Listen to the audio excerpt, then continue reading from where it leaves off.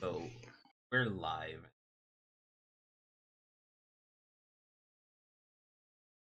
Sure. All right, all right, all right. Come on now, load.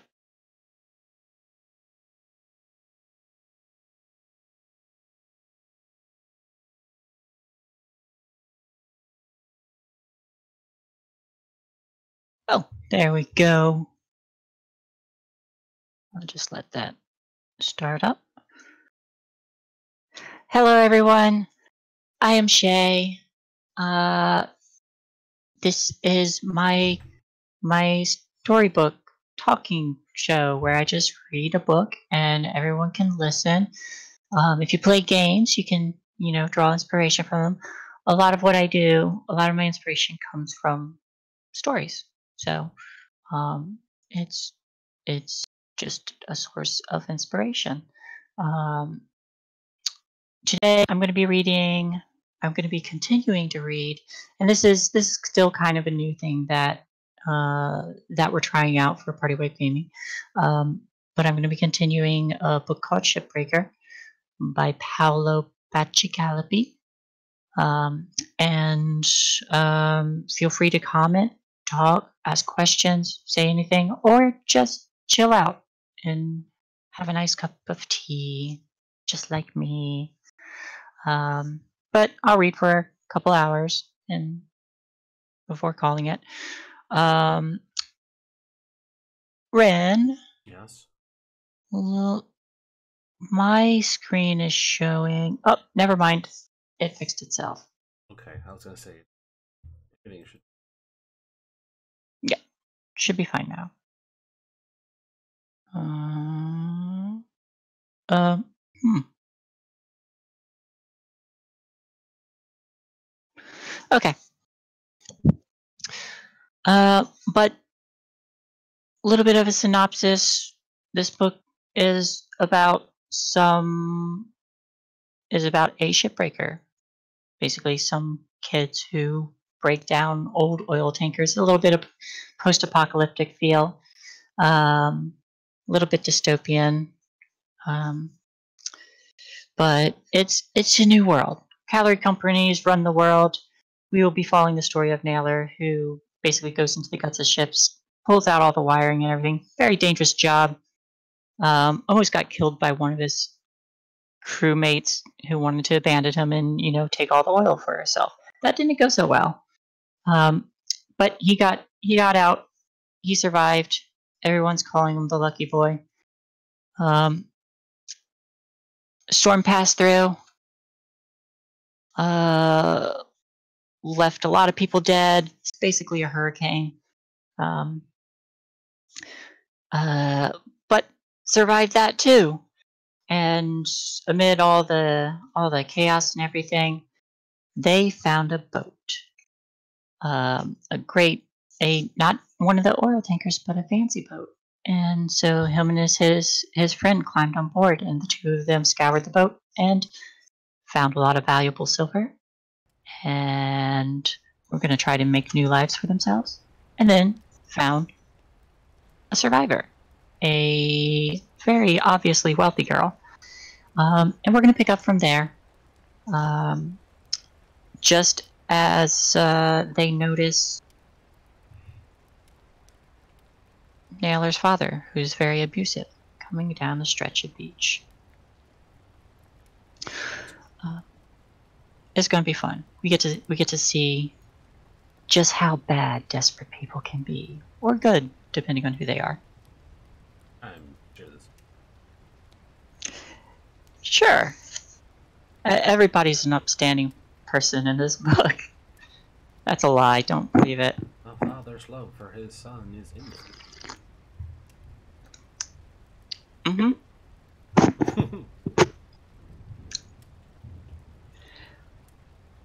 But we'll find out where that goes. Uh, was there anything you wanted to say, Ren, before we get started?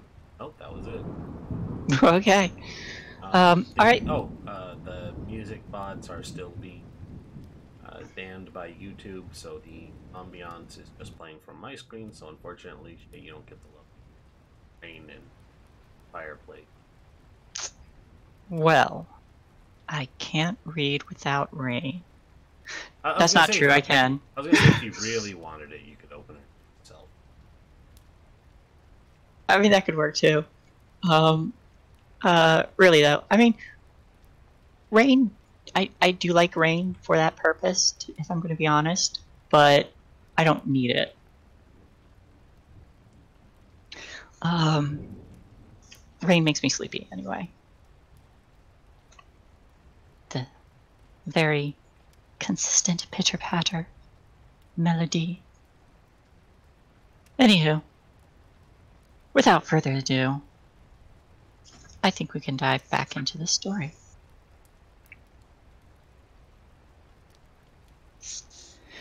Richard Lopez was fast, coming across the sand flats where the water had run out. He had a surprisingly big crew with him as well. All his hungry ones, the ones who did rough work, kept the yards in line when it suited them, did nothing the rest of the time.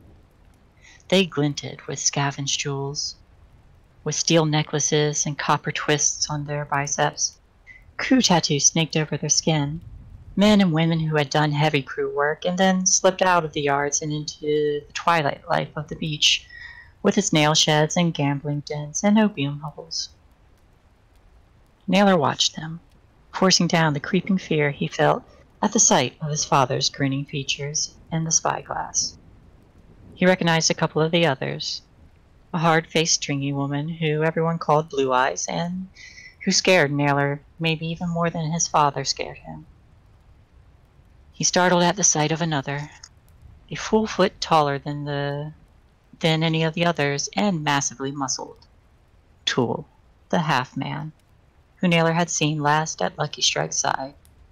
He recognized another, Steel Liu, Liu, a skullcracker from the Red Python gang. All of them bad news. No matter how you cut it. The dragons on his father's shoulders rippled. His father was leading the whole band, striding ahead, grinning, showing his tangled yellow teeth. Through the scope, he was so big. It was so big it felt as though the man had already arrived. Nailer shivered, and it wasn't just the creeping infection in the back that chilled him. We need to hide. You don't think they already know we're here? Pima asked.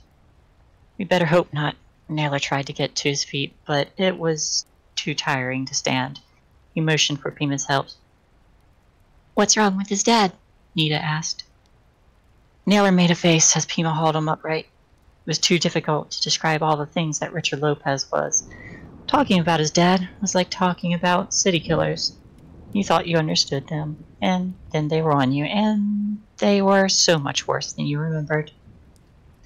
He's bad, he muttered. Pima got herself under his arm, supporting him, and started helping him down the slope of the deck. I saw him kill a man in the ring, Pima said. Beat him down and killed him, even after everyone had already won. Even after everyone said he'd already won. Beat him bloody. Left him with just his head cracked open. Nailer's face felt like it was carved from wood. He looked again across the shimmering water to his father's progress across the sands. He and his crew were coming fast. This time of day, they were probably already sliding high. If they get if they get hold of Lucky Girl, she's dead, Pima said. Your dad won't your dad won't want her getting in the way of scavenge. Nailer looked over at Nita. This would be a good time for your people to show up. Nita shook her head. Too soon, I think. She didn't even look to the horizon. What else can we do? Nailer and Pima exchanged glances. Let's get out of here, Pima said. Let them search the ship. There's plenty of good scavenge. Maybe it'll keep them busy and we can sneak back to the beach later. Tonight or something. Nailer stared at the ant-like forms. He'll still be looking for me, even when we go back. We don't know that. He's so damn high he probably doesn't even remember he has a son. Nailer remembered the time when his father. Nailer remembered the time when his father, high and angry, had taken had taken a man twice his size, blurringly fast. A broken bottle, and blood on the ground. He blew air out through his lips. Yeah, let's get out of here. You sure we can hide? Nita asked. You better hope so, Nailer said through gritted teeth, as they helped him helped slide him clumsily over the side. If they catch us, he shook his head. But aren't you family? Doesn't mean anything if the man's sliding, Pima answered. Even Nailer's afraid of his dad when he's high. Sliding? Is that a drug? Nailer and Pima exchanged glances. Crystal Slide, you don't know it? She looked puzzled. Red Ripper, Pima tried. Blood Rock? Naylor said. Dealy Breeze, Horny Toads, Bliss Bleeders. She sucked in her breath. Bleeder. They both shrugged. Could be. She looked at them both, horrified.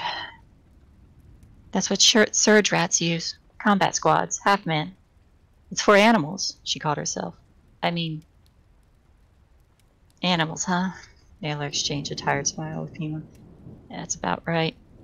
Just a bunch of animals here, making money for you big bosses. Nita had the grace to look embarrassed. Nailer stumbled out of the out of the surf and stared up at the island's foliage above. Dizziness washed over him. He held out a hand to the rich girl. Help me. I don't think I can climb. The haul back up onto the island of undergrowth was a nightmare of pain and struggle.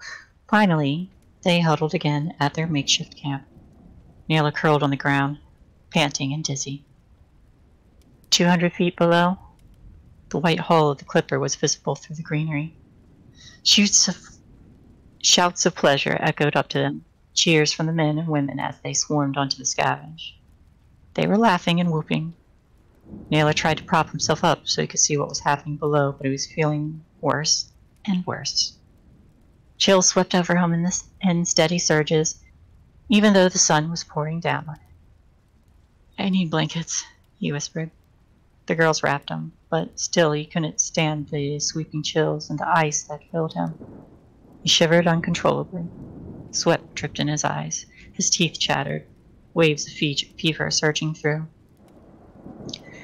Below, his fathers and his cronies clambered over the wreck with the feral grace of tiger monkeys.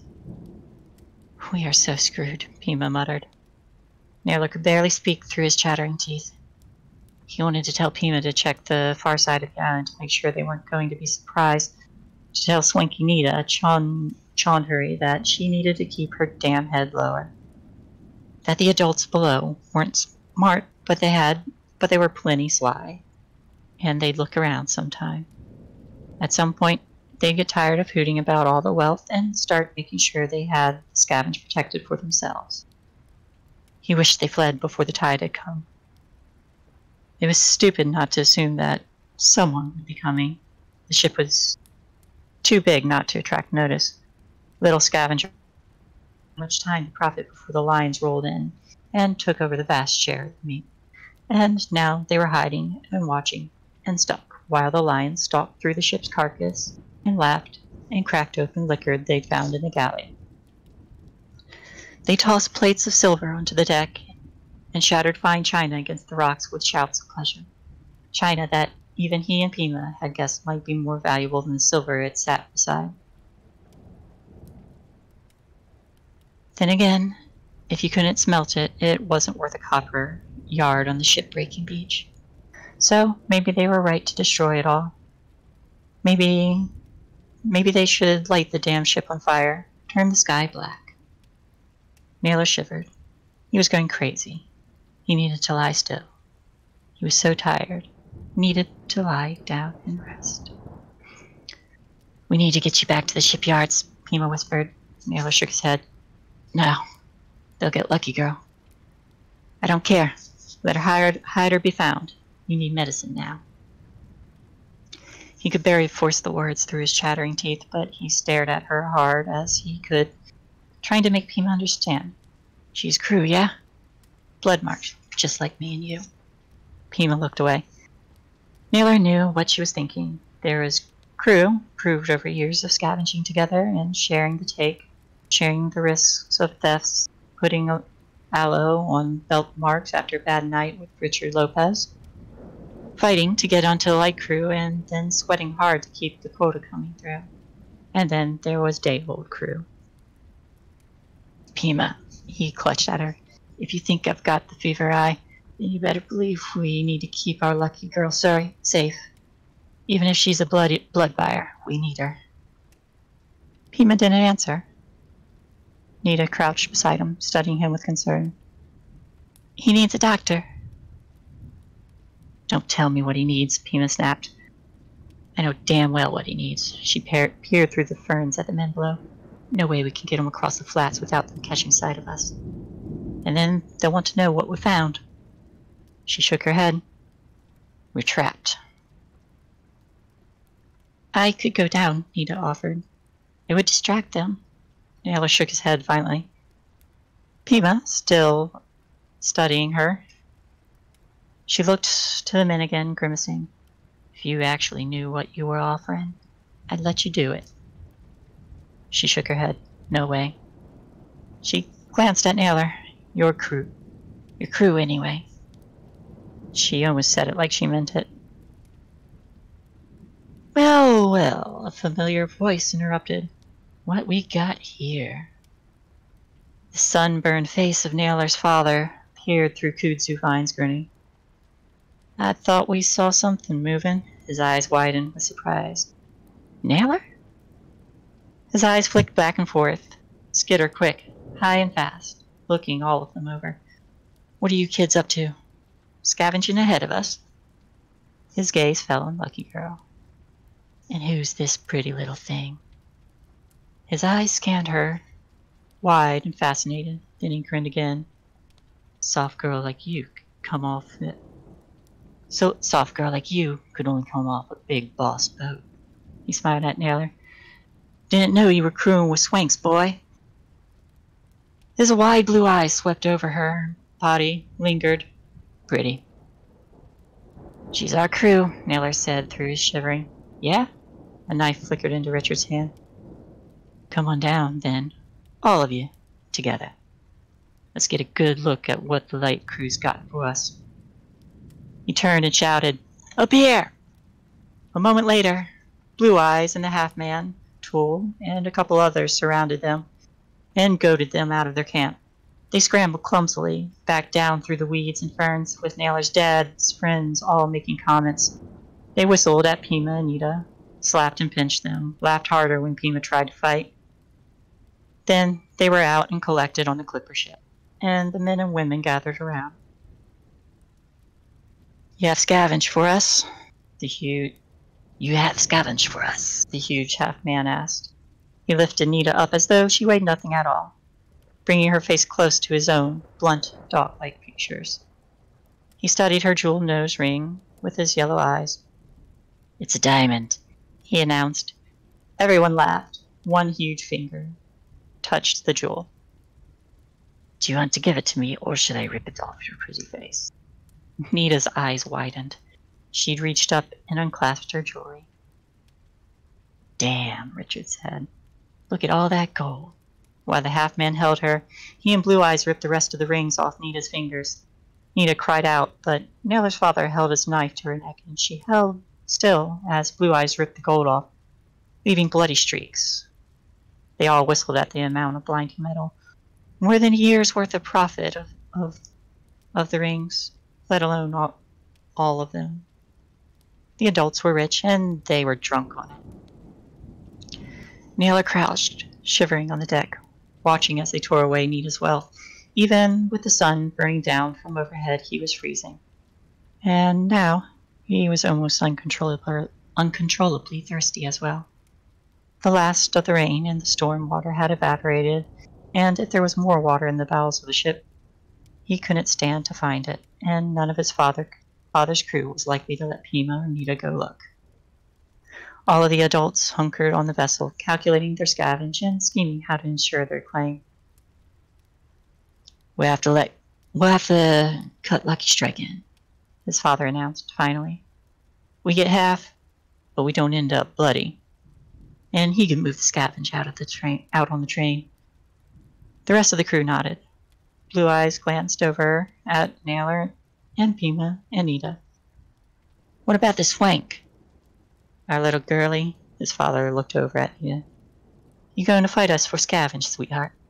No. Nita shook her head. It's all yours.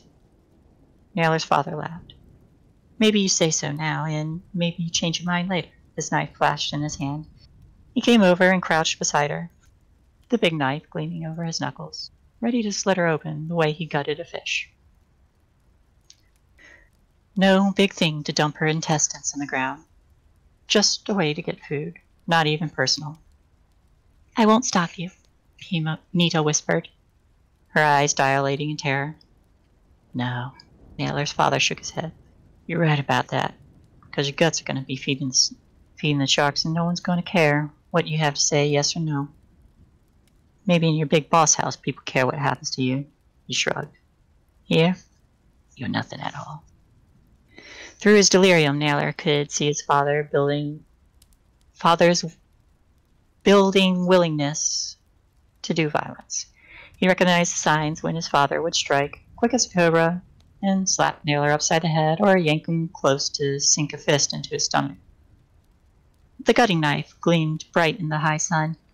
His father dragged Nita close. Nailer tried to speak, tried to say something that would save her, but he couldn't get the words out. The chills were coming. The chills were coming so fast now. Out of nowhere, Pima lunged, her knife flashing. Nailer tried to cry, cry out to warn her, but his father beat him to it. He slammed Pima aside. She sprawled out on the decking. Her knife skittered across the carbon fiber and disappeared over the side. Pima was bigger than most of the light crew, but she was nothing against his father's crystallized speed. The man grappled with her for a moment, then twisted her into a chokehold. His crew rushed over, shouting. Tool got to her first, yanked her upright, lifting her from the deck entirely. He pinned Pima's arms behind her, leaving her writhing and struggling fruitlessly. A necklace of blood beads glinted, ruby on his father's neck. Damn, girl, you nicked me. He grinned and ran his fingers down the wound. Held up his hand, slick with blood. Nailer was amazed that Pima had come so close. She'd been so fast. His father inspected the red smear thoughtfully, then showed it to her. Close? he laughed. You should fight in the ring, sweetheart. Pima struggled against the restraining hands. Nailer's father slipped close. You almost got lucky, girl. He gripped Pima's face with his bloody fingers. So damn close. He held up his knife in front of her eyes. My turn now, right? Cut her, someone in the game whispered. Open her wide, Blue Eyes urged. We'll scavenge her blood for an offering. Pima shuddered in Tool's grip, but she didn't flinch as Richard touched her cheek with his blade. She'd gone away. She'd gone away already. Nailer guessed. She knew she was dead. He could recognize it. Her acceptance of the fates. Dead. Nailer coughed. She saddened us, girl. She saved you in the storm. His father hesitated, holding the knife to Pima's face. He traced it across the girl's jaw. She tried to kill me. Naylor tried again. Even up with Sadna. Life for life. Balance the scales. His father scowled. You always were the smart boy, weren't you? Always trying to tell your dad what to do. Always fooling yourself. He let his knife slide down between Pima's breast to her stomach. He looked over at Nailer. You trying to tell me what to do now? You telling me I can't put her guts on the ground? Think I can't open her if I want? Nailer shook his head violently. You want to gut her. That's your right. She drew, drew blood. His teeth chattered. It was a fight just to stay conscious. Pima and Anita were staring at him. Nailer continued. You want blood. It's yours. It's your right. He was feeling Worse, feeling more and more dizzy. He took a breath, trying to remember even what he wanted to say, forced the words out carefully, enunciating. Pima's mom helped me pull you out when the storm came. No one else would have helped me. No one else could have. He struggled helplessly. Wio Sadna. Damn, boy. Richard cocked his head. It still sounds to me like you're trying to tell me what to do. Tool's voice rumbled. Perhaps a lesson for the girl instead of a death. A gift of wisdom to the young. Nailer looked up at the half man, surprised, and tried to press his advantage. I'm just saying we owe our mom a blood quota, and everyone knows it. Bad karma if people think we don't pay back. Bad karma. Nailer's father scowled at him. You think I care? Balancing a blood quota shows no weakness. Tool rumbled. Richard looked from Nailer to Tool. Well, look at this. I guess everyone wants the girl alive. He smirked, then lifted his knife and drove it for her gut. Pima cried out, but Richard stopped short of spilling uh, stopped short of spilling blood. He grinned as he withdrew the, the point from where it had dented her skin. Looks like you get a free one, girlie. He took one of her hands in his, looked into her eyes. You're balancing the scale. Because of your mom, he said. But if you put a knife on me again, I'll strangle you with your guts. Got it? Pima nodded slowly, not blinking, eye to eye. Got it. Good, Richard smiled. Pried open her hand smiled and pried open her hand. Pima gasped as he grabbed her pinky. Bone crackled.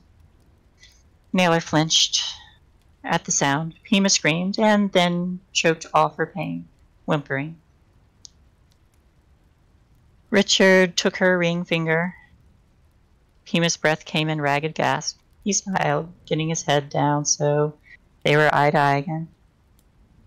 Now you know better, don't you? Pima nodded frantically. But still, he wrenched her finger. Another bone snapped, and she cried out. Learn your lesson yet? he asked.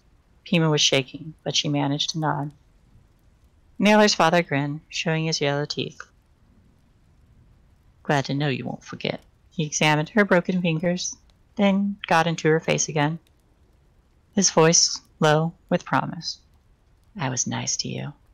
I could have taken every finger you got and no one would have said I was wrong, even with a blood debt. His eyes were cold. Remember that I didn't take as much as I could have. He stepped away and nodded at the hat. Let her go, Tool. Pima collapsed on the deck, whimpering and cradling her hand. Nailer forced himself not to go to her, not to try and comfort her. He wanted to curl up in a ball on the hot deck and close his eyes, but he couldn't. He wasn't done yet. You're going to get the swing now. His shivering was uncontrollable. His father glanced over at the bound girl. You got something to say about that, too? She's damn rich, Nailer stuttered. If the people are looking for her, she's worth something. Maybe. Worth a lot. Maybe more than a ship. His Father evaluated the girl, considering. You worth a reward? he asked. Nita nodded. My father will be looking for me. He'll pay to keep me safe. That right. A lot. This is my personal clipper. What do you think? I think you've got an attitude, Nailer's father smiled, feral and pleased. But you just bought your guts back, girlie. He showed her the knife, and if your dad won't pay enough, we'll pig open we'll pig open you and see how you squeal. He turned to his crew. All right, boys and girls, let's get the scavenge off. I don't want to share too much with Lucky Strike. Everything light and valuable off the ship. He turned and looked out at the sea. And hurry. Tides and the scavenge god don't wait for anyone. He laughed. Nailer let himself lie back on the deck. The sun blazed overhead. He was freezing. His father crouched beside him. When he touched Nailer's shoulder, Nailer cried out. Richard shook his head. Damn, lucky boy. Looks like you're going to need some medicine. He looked out across the bay to the shipbreaking yards. As soon as we get some of the scavenge off, we'll go make a deal with Lucky Strike. You should have a cillin, maybe even a suppressor cocktail. I need it soon, Nailer whispered. His father nodded. I know, son. I know that. But when we show up, we're going to have to explain how we can pay for your meds. And then there'll be questions about how your old man got so much silver and gold. One of Nita's rings flashed in his hand. Look at this here. He held it up to the light. Diamonds. Rubies, probably. You found a swanky girl, all right. He shoved the ring into his pocket. But we can't sell until we've got the muscle in place. Otherwise, they'll try and pull it out from under us. He looked at Nailer seriously. This was a lucky find, boy. You gotta play it smart, though, or we'll lose it all. Yeah, Nailer said, but he was losing interest in the conversation. He was tired, cold and tired. Another wave of shaking swept over him. His father yelled at his men to bring some blankets. I'll be back, he said. Soon as we have the score secured, we'll get your meds. He stroked Nailer on the cheek. His pale eyes looked as bright and crazed as Nailer felt his own must be. I won't let you die, son. Don't you worry. We'll get you taken care of. You're my blood, and I'll take good care of you. And then he was gone, and Nailer sank into fever. Okay. I need a drink. That's certainly went in a direction I wasn't expecting. For who? For Pima. Yeah. Yeah, I was expecting uh, a group of money drunk men to go in a totally different direction. They almost did. Very prepared to write a content warning for the stream. like, oh no.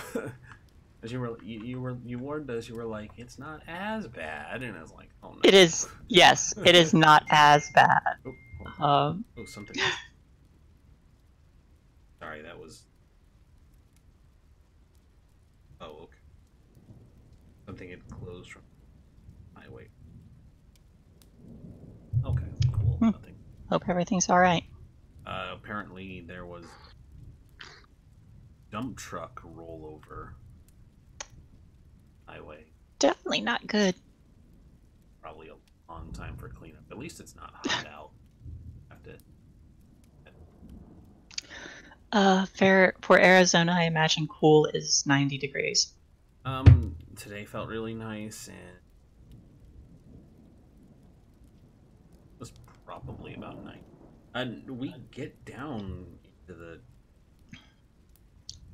seventy or during the day because it's a desert. 'cause It's Yeah. It's either hot or really cold. Freezing. you know. Outside of the city, all the concrete will why it stays hot. Yeah.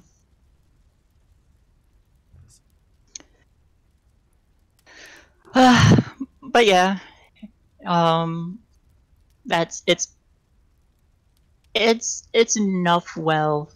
The promise of enough wealth is to keep them off of the the three of them at least for now. Um, but it's also it also kind of like his well-being is like secondary to this. It's like I'll get your medicine after I get this. I'm dying. It's like, yeah, you can die when. Basically.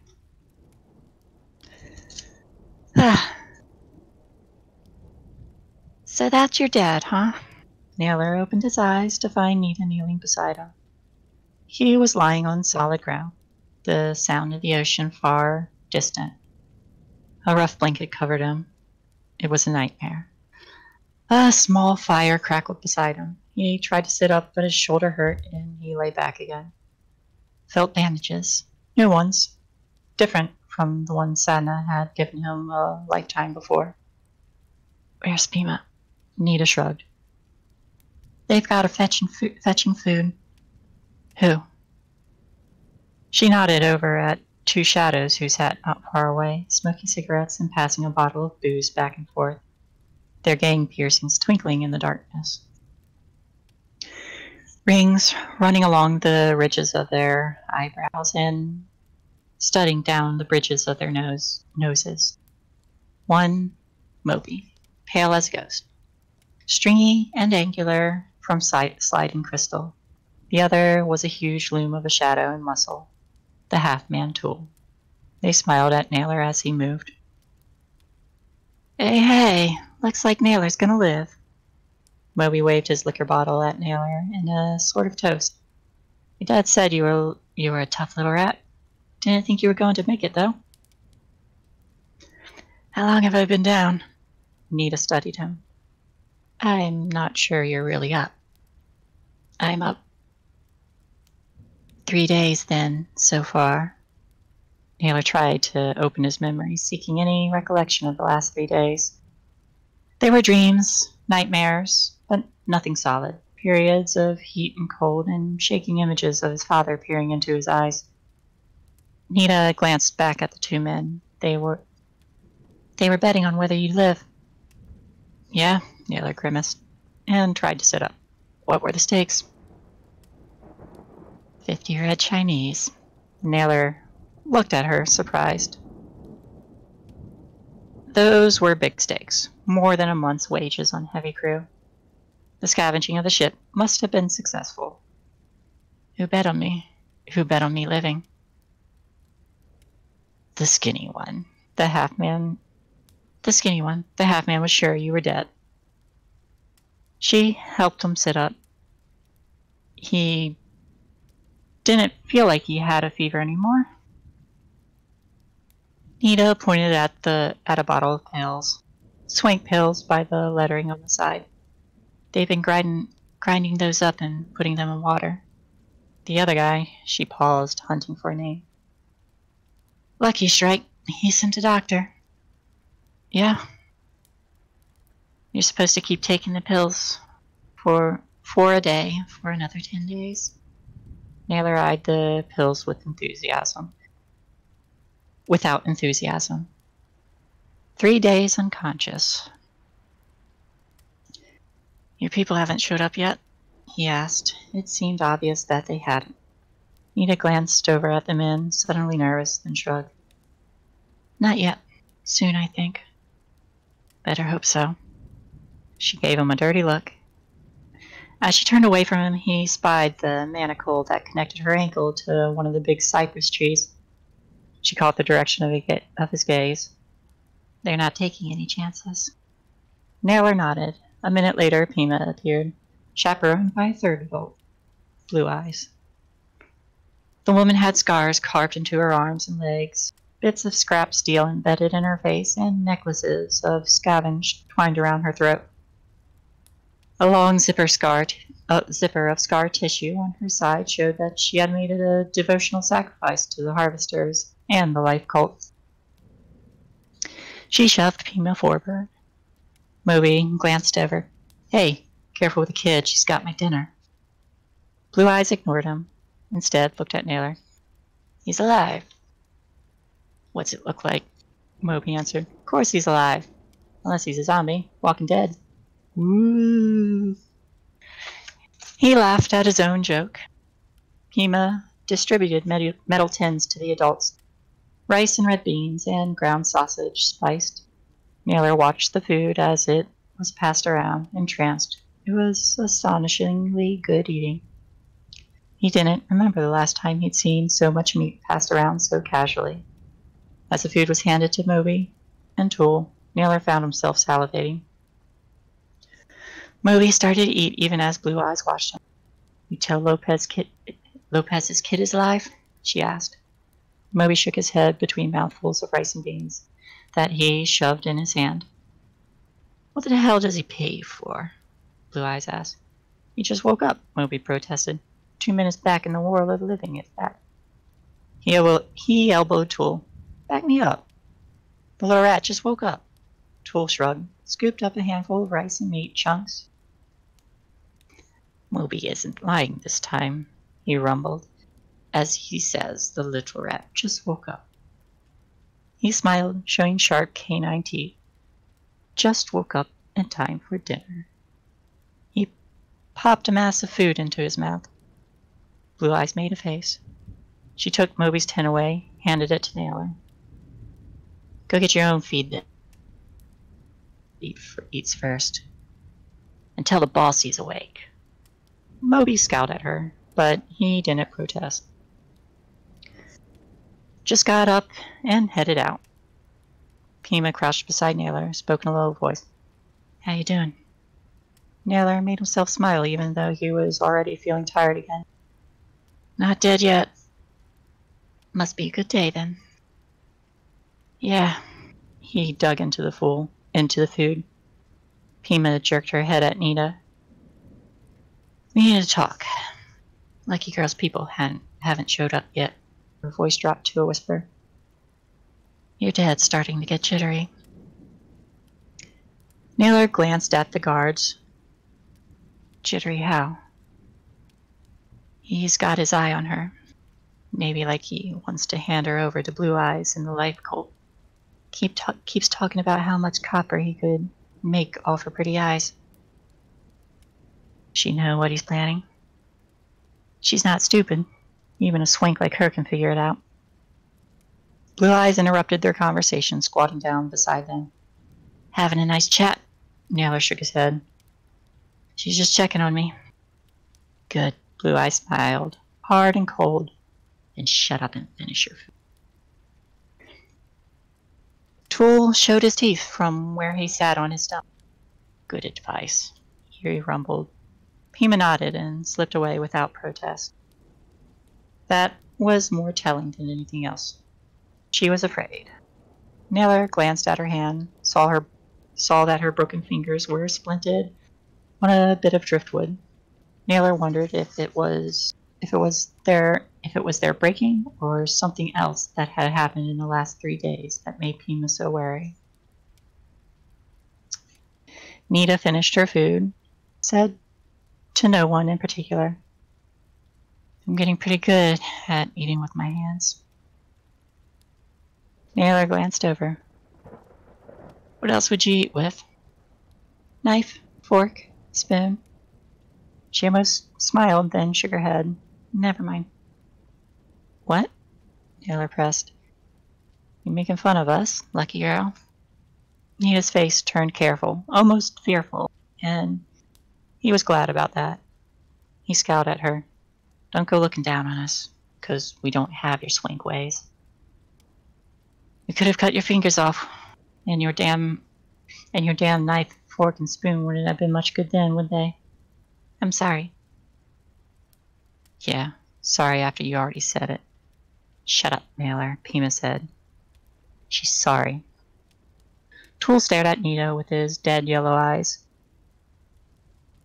Maybe not as sorry as she could be, right, boy? He leaned forward. Do you want me to teach your swank a lesson in manners? Nita suddenly looked very frightened. Nailer shook his head. No, never mind. She gets it now. Tool nodded. Everyone does eventually. Nailer shivered at the half man's flat words, the disinterest in his voice. This was the first time he'd been this close to the creature. There were plenty of stories about him, though. About where he got the vast webwork of scars that decorated his face and torso. About how he waded through the swamps hunting for alligators and pythons. Pule said he wasn't afraid of anything, that he'd been engineered so he couldn't feel pain or fear. He was the only thing Nailer had ever seen his father talk about with careful respect rather than abusive authority. The half man was damn scary, and watching the way Tool looked at the girl, he thought he knew why. Never mind, Nailer said again. She's fine. Tool shrugged and went back to his food. They all sat in silence, beyond the ring of their firelight, there was nothing except animal sounds and insects. The black wilderness of the jungles and swamps, the swelter of the interior. From the distant sound of the surf, Nailer guessed that that they were at least a mile from shore. He lay back on the ground, watching the flames flicker. The food had been good, but he was tired again. He let his mind drift, wondering what his father was planning and why Pima looked so worried, and what was going on behind Lucky Girl's swank eyes. He drifted off. Damn, boy, you're awake, I hear. Miller opened his eyes. His father crouched over him, smiling, his tattooed dragons and bright crystal slide, slide amphetamine eyes on him. I knew you'd make it, his dad said. You're tough like your old man. Tougher than nails, right? Just like I named you. Just like your old man. He laughed and punched Nailer's shoulder and didn't seem to notice Nailer flinch at pain. You look a lot better than a few days ago. Richard Lopez's skin was pale and sweating in the firelight. And his grin was wide and feral. Wasn't sure if we'd be putting you down with the worms. Nailer made himself smile, trying to gauge his father's crystal bright mood. Not yet, I guess. Yeah, you're a survivor. He glanced over at Nita. Not like the rich girl. She'd have been dead a long time ago if it wasn't for me saving her swing cast. He smiled at her. I'm always hoping your dad doesn't show up, girl. Nailer sat up and folded his legs under himself. Your crew hasn't showed? Not yet. His father took a swig of whiskey and offered the bottle to Nailer. Pima spoke up from across the circle. Doctor said he's not supposed to drink. Nailer's dad scowled at her. You trying to tell me what to do? Pima hesitated. Not me. Lucky Strike's doctor said it. Nailer wanted to tell her to shut up, but it was already too late. His father's mood had, sit, had shifted. I should turn that off. His father's, uh, Sounds funny though. maybe. His, where did I. ah, I'm lost. Nailer should. I found it. Shut up. But it was already too late. His father's mood had, had shifted. A storm gathering where there had only been clear skies before. You think you're the only one who heard that damn pill man? Richard asked. I'm the one that brought the pill man out. I paid him, and I got him to put my boy back together. He went over to Pima, the whiskey bottle swinging loose in his hand. And now you're telling me what he said. He leaned close. You want to tell me again? Just in case I didn't hear you. Pima had enough sense to shut up and duck down. Miller's dad examined her. Yeah, smart girl. I thought you wanted to shut the hell up. No sense in kids these days. He grinned at his goons. Blue Eyes and Moby grinned. Tool just studied Pima with his dog eyes. You want me to teach her a lesson, he rumbled. Remind her. Richard asked, What do you think, girl? Need a little lesson from Tool here. Maybe see if he teaches any better than me. Pima shook her head. No, sir. Look at that! Richard smiled. Polite now, ain't she? Nailer tried to intervene. How come the swing's still here? Where's our people? Richard's attention swung back to Nailer. Wish we knew, don't we? Girl says her people are coming, coming for her. Says someone gives a damn, but nobody comes looking. No ships, no people in the in on the train, looking on the coast. Not a single swank showing up. Asking questions. He licked his lips as he studied Nika. It's starting to look like no one gives a damn about one little rich girl. Maybe she's not even worth her kidney weight. It'd Be tragic if we ended up scavenging our rich girl for spare parts, wouldn't it? Should we try to reach out to her people? Nailer asked. Find a way to tell them where she is. Wish we knew where they were. From over in Houston, she from over in Houston, she says. The Upadaya Combine. Some kind of shipping clan. Lucky Strike's got some people trying to track them down. Nailer startled. Upadaya. He broke off as Pima flashed a warning signal. Nailer glanced at her, puzzled. Why had Nita lied about her name? If she was really with Patel Global, there should have been ways to contact her people right here on the beach. What's your plan? he asked instead. Hard to say.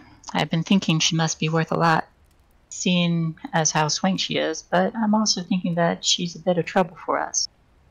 Maybe these Upadaya have big connections, boss connections. The kind that bring their skullcrackers in and make trouble for hard-working people like us. Nailer's father paused, thoughtful. Maybe I'm thinking she's too damn dangerous and we're better off if she's feeding the pigs. We already have her ship, and sure as hell she knows too damn much about now. He said it again, quieter. Too damn much. But she's gotta be worth something. Richard shrugged. Maybe she's worth a hell of a lot. And maybe that's even worse than if she's worth nothing. He looked up. You're a smart kid, Nailer, but you should pay attention to your dad. I've got some years on my skin, and I'll tell you, a swank like her always means trouble for people like us. They don't give a cop a yard about us, and they sure like their own. Maybe they pay us for her, and maybe they come back with their guns and clear us out snake nest instead of saying thank you. Nita protested, We wouldn't. Shut up, Swank. Richard's voice was flat, disinterested. He turned his cold eyes on her. Maybe you're worth something, maybe not. But I know for damn sure that your flapping mouth annoys the hell out. He pulled out his knife. I hear much more of you, and I'll take those pretty lips off. Make you smile, and then you're sad. Make you smile even when you're sad, little swank. He stared at her. You think your crew would want you back without your lips? She fell silent. He nodded, satisfied. He sat down with Nailer, put his head low, close, almost touching. Nailer could smell the sweat and whiskey on him, see the redness in his eyes. You had the idea, boy. Richard glanced at the girl. But the more I think about it, the worse it sounds. We got a big score off the ship. Everything's gonna be different now. We're damn rich. All set up with Lucky Strike. That clipper's down to the ribs now. Got real crews stripping it. Another couple days, it'll be like that ship never existed. He grinned. Not like breaking one of those old oil tankers. These little ships come apart easy. He glanced over at Lucky Girl. This girl doesn't do us any good, though. Maybe she makes big bosses pay attention to us. Maybe she makes us targets. Maybe she gets people asking questions about Scavenge, where it came from, and who owns it, and who gets rich from it. No one would say anything to... No one would say anything to the Swanks. Don't kid yourself, Richard muttered. They'd sell their mothers for a chance to pull a lucky strike. Give it time, Nailer whispered. Give it a little time and we'll be even richer. All he could think about think of was how badly he wanted to get away from his father, with his twitchy eyes and fast, high smile. The face of a man deep in a slide. Richard's eyes went to the girl again. If she wasn't so pretty, I would have bled her out already. She draws too much attention. He shook his head. I don't like it. Nailer said, maybe we can get her people to pay for her without knowing who sold her. She's still secret, right? Nailer's dad grinned. Just my crew. He studied Blue Eyes and Moby and Tool. Maybe too many, though. Secrets don't keep when someone's throwing cash around. He glanced at the girl. Keep an eye on her for another day. We'll see what turns up. He stood and Nailer struggled to his feet as well, but his father pressed him back. You stay here. Rest. Sadna's asking questions about where you and Pima went. I'm playing dumb, you know? Don't want anyone else knowing what's going on. Make sure they don't make any trouble. Sadna's looking for us? Nailer tried to keep the hope from his voice. She heard a rumor. Maybe we found Pima. He shrugged. She's got no cash, though, and no one talks without red Chinese in their hands. He turned and nodded to Tool and Blue Eyes and Moby. Keep 'em tight.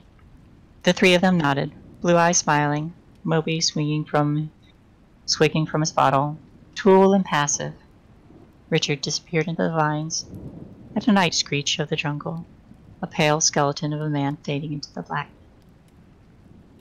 When Richard was gone, Moby grinned and took another swig from his bottle. You're running out of time, girlie, he said. You people don't show up quick. Maybe I'll take you for my own. You look like you'd make a nice little pet. Shut up, Tool rumbled. Moby glared at him and closed his mouth. Tool glanced at Blue Eyes. You watching first. Blue Eyes nodded. Tool pushed Moby a little ways. Pushed. Tool pushed Moby a little ways away, both of them bending down in the nearby bushes. Soon a snore marked where Tool lay, and Moby's voice, complaining still, was barely audible through the ferns. Mosquitoes swarmed around them. Nita slapped miserably at the bloodsuckers. Everyone else ignored them. Blue Eyes came over, put a chain cuff around Pima's wrist, then turned to Nailer. You going to give me trouble? What? Nailer gave her a look of incredulity. You gonna going to tell my dad you put a cuff on me? I'm the one who came up with this lucky strike. Blue Eyes hesitated. She seemed tempted to, to chain him as well, but also uncertain, not entirely sure if he was a captive or an ally. He stared back at her, challenging. Nailer knew what she was seeing. A skinny red boy just out of a fever, and crazy Richard Lopez behind him. It wasn't worth it. Sure enough, Blue Eyes gave up on the idea. She sat down on a rock and picked up a machete. Started sharpening it. Pima and Lucky Girl stared at him, their eyes full of meaning. The fire burned lower. He didn't like his father's hints. The man was on the verge of a of decision, and anything could tip. Nailer stretched out on the ground beside Pima. How are your fingers? She smiled and held up her hand. Pretty good. Glad you didn't decide to teach me five lessons. Hurt much now? Not as much as the money we lost. Her voice was brave. But he thought the fingers must hurt awfully.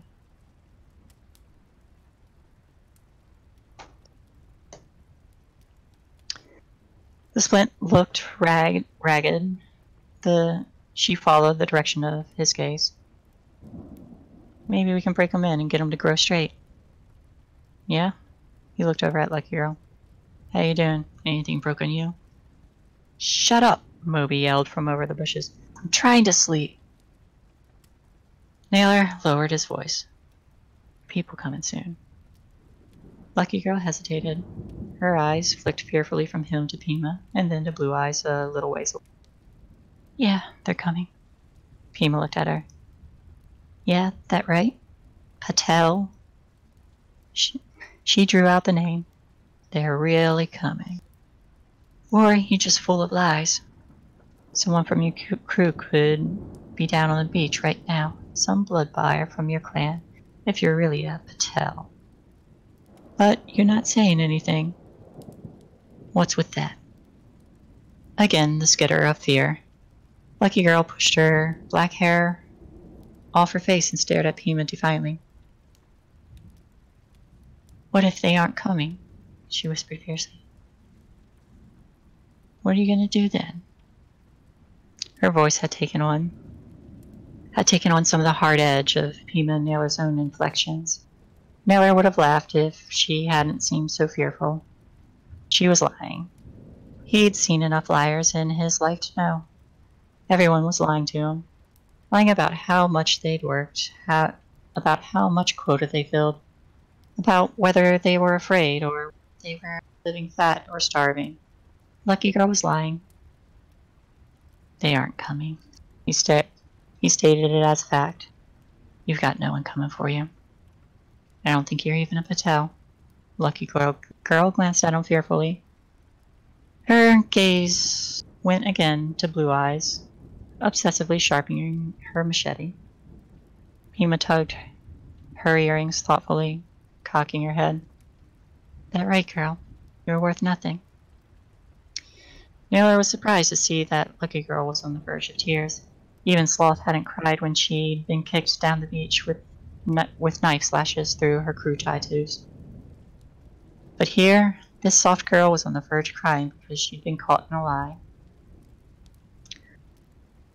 Where are your people? he asked.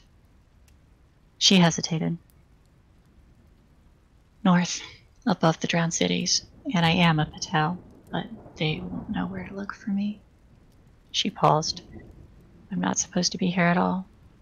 We threw away our GPS beacons weeks ago, trying to get away. From who? She hesitated, then finally said, My own people. Nailer and Pima exchanged puzzled looks. Nita explained quietly. My father has enemies within our company. When we got caught in the storm, they were pursuing us. Everywhere we went, they anticipated us. If they catch me, they'll use me as leverage. So no one's coming looking for you? No one you would want to meet. She shook her head. When our ship wrecked, two other ships were pursuing us, but they turned back from the storm. So that's why you were sailing into a city killer. You were running. It was either that or surrender. She shook her head. It wasn't a choice we could make. So no one's coming for you. Nailer couldn't help repeating it.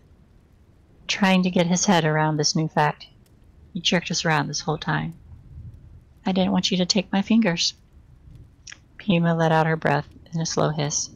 You should have given you should have given yourself up to whoever was chasing you. Nailer's death is worse than anything they could have done to you. Lucky Girl shook her head. No. Your people, they have an excuse. The ones who hunted me, she shook her head. They're worse. They are worse. So you wrecked a whole ship and tried to drown yourself just so they couldn't catch you? Nailer asked. Killed your whole crew so you could stay free? She glanced over. They were. She shook her head. Price's people would have killed them anyway. He wouldn't have wanted witnesses. Pima grinned. Damn. The swings and their rust rats are all the same. Swanks and the rust, rust rats are all the same at the end of the day. Everyone's looking to get a little blood on their hands. Yes, Nita nodded seriously. Just the same. Nailer considered the situation. Without someone to buy Nita back, she was worth nothing. Without strong friends or allies on the beach, she was just meat. No one would even blink if she went under the knives of the harvesters. Blue Eyes could hand her over to the Colt, and no one would think twice about protecting her. Pima looked Nita over. Hard life here, for a swank like you. You won't survive unless you get yourself a protector, and there's not much percentage in sheltering someone like you. I can work. I can. Can't do anything unless we say so, Pima said brutally. No one cares about a swink like you one way or the other. You got no crew, no family. You don't got your goons and money to make them respect you either. You're worse off than Sloth. At least she knew the rules, knew how to play the game. You really don't have people then, Nailer asked. No one who might help you. We have ships. Nita hesitated. Our clan has ships, and some of the captains are still loyal to my father. They come to the Orleans for the Mississippi trade. If I could get there, I could reward you. No more reward talk, lucky girl. Pima shook her head. You've run out of that. Yeah, Nailer glanced over at Blue Eyes, who was sharpening the new machete. How about we quit the lying? He nodded at Nita's scarred palm. We shared blood, and you're still lying to us. Nita gave him a dirty look. You would have cut my throat if you didn't think I was valuable. Nailer grinned. Guess we'll never know. But we got you now, and you're not worth a copper yard. He fell silent. Pima watched him. It's a damn long way to the Orleans, she said. Gators and panthers and python. Lots of good ways to die. Nailer considered. Don't only have to go over land. Can't sail it. Your old man would know if uh, a skiff was missing and be after you in no time. I'm not thinking about a skiff. Pima stared at him. Blood and rust. She shook her head. No way. You remember Rini? You remember what he looked like afterwards? There wasn't anything left in him, just meat pieces. He was drunk. We won't be. Pima shook her head. It's crazy. You just got your shoulder pulled back together and you want to go wreck it. What are you talking about? Nita asked. Nailer didn't answer her directly. It was possible. It was just possible. You a good runner, lucky girl. He looked her over. You got soft skin, but but you got any muscles under your skirts? You fast? She's too soft, Pima said. Nita looked at him fiercely. I can run. I took first in a hundred meter at St. Andrews. Nailer smiled at Pima. Well then, if St. Andrews says she can run, then maybe she'd be pretty fast. Pima shook her head and made a small prayer to the fates. Swanks run on funny little tracks against other swanks. They don't run for the life. They don't know how. She says she can run, Nailer shrugged. I say we let the fates judge. Pima glanced at the girl. You better be as fast as you say, 'cause you only get one chance. Nita didn't blink. They ran out of chances a long time ago. It's all fates now. Yeah, well, welcome to the club, lucky girl. Pima grinned and shook her head. Welcome to the damn club. Another drink. Sips. Mm-hmm.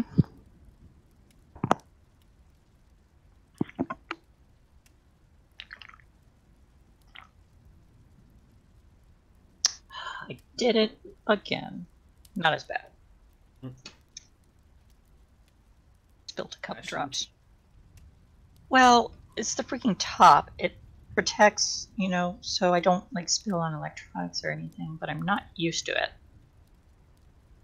So every time I upend it, I have to upend it a little bit further. And then it gets on me. Fortunately, it's just water and herbs, so. Doesn't stain, does it? By hand.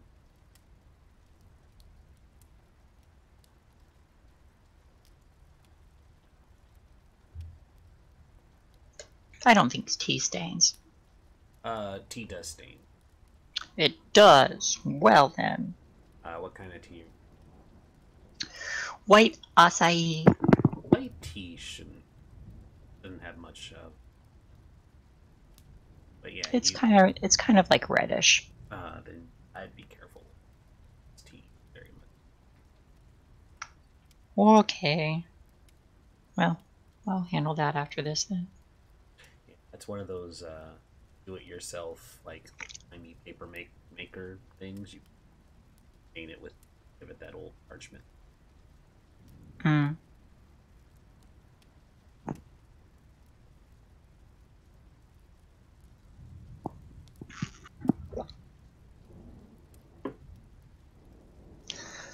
all right.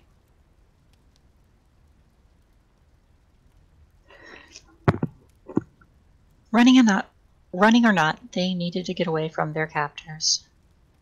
In whispered conference, they made a plan and settled in to wait.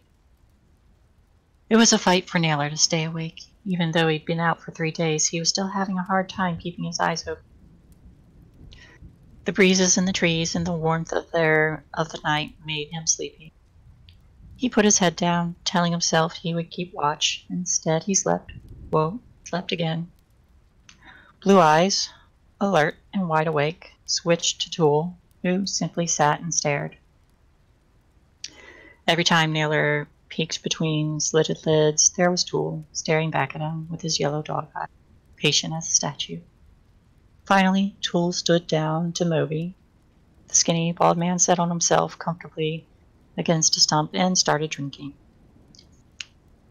He was half reclined, and it wasn't long before he had drunk himself back into a slumber, trusting in the shackles and the sleeping forms of the young people for his sense of security. Nailer lay awake, waiting, glad to still be unrestrained even if he wasn't one of his this adult crew. He was one of he was one of his fathers, and so he had some trust. Between association with his father and their own memories of him as a fever, feverish invalid, he had some wiggle room. He wasn't a risk in their minds, just a skinny light crew kid recovering from sickness. That was all to the good. The problem was that Blue Eyes had the keys to the girl's shackle. And she and she scarred and she scared the hell out of them. Nobody who got in with the life cult was good news. Novices were always looking for new recruits, and they were always hungry for sacrifices. As soon as Moby was snoring, Nailer began easing towards where he had seen Blue Eyes bed down. He went slowly, as slowly as a child who had learned to steal at an early age, whose best chance of survival is in silence and remaining unnoticed. He gripped his duck knife with sweaty fingers, his hands slick with fear. There's no way to search Blue Eyes and find the keys without waking her. The knife felt small, useless in his palm, a toy. This was a necessary thing, but he didn't have to like it. It wasn't as if he felt guilty. He didn't. Blue Eyes had done worse in her time and would do worse in the future. He had seen her torture people who held back on quota or who fell behind on loans. He had seen her take off a man's hand for stealing from Lucky Strike and then watch the man bleed out under her cool blue gaze. And who knew how many beach rats she drugged and collected into the mysteries of the church. She was hard and deadly, and Nailer had no doubt that if his father asked her to do it, she would kill him and Pima and Lucky Girl and sleep well afterwards. He didn't feel guilty, and yet still, as he stole close, his heart pounded in his chest and his blood thudded in his ears like beach drums. It was the sort of killing that his father would accomplish with proficiency. Richard Lopez understood the qualities of kill or be killed intimately. A zero sum calculations that said it was better to be alive than dead, and he would not have hesitated to take advantage of a sleeping opponent. Quick and fast, Nailer told himself. Cross the throat and be done. A few years before, his father had made him kill a goat to show him the method of the knife to show him how a blade pierced flesh and snagged on tendons. Nailer remembered his dad crouching over him, wrapping his fist around Nailer's own.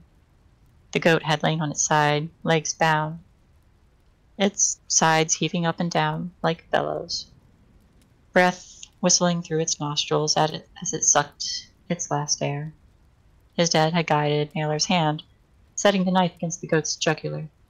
Press hard, he said, and Nailer did as he was told. Nailer parted the ferns.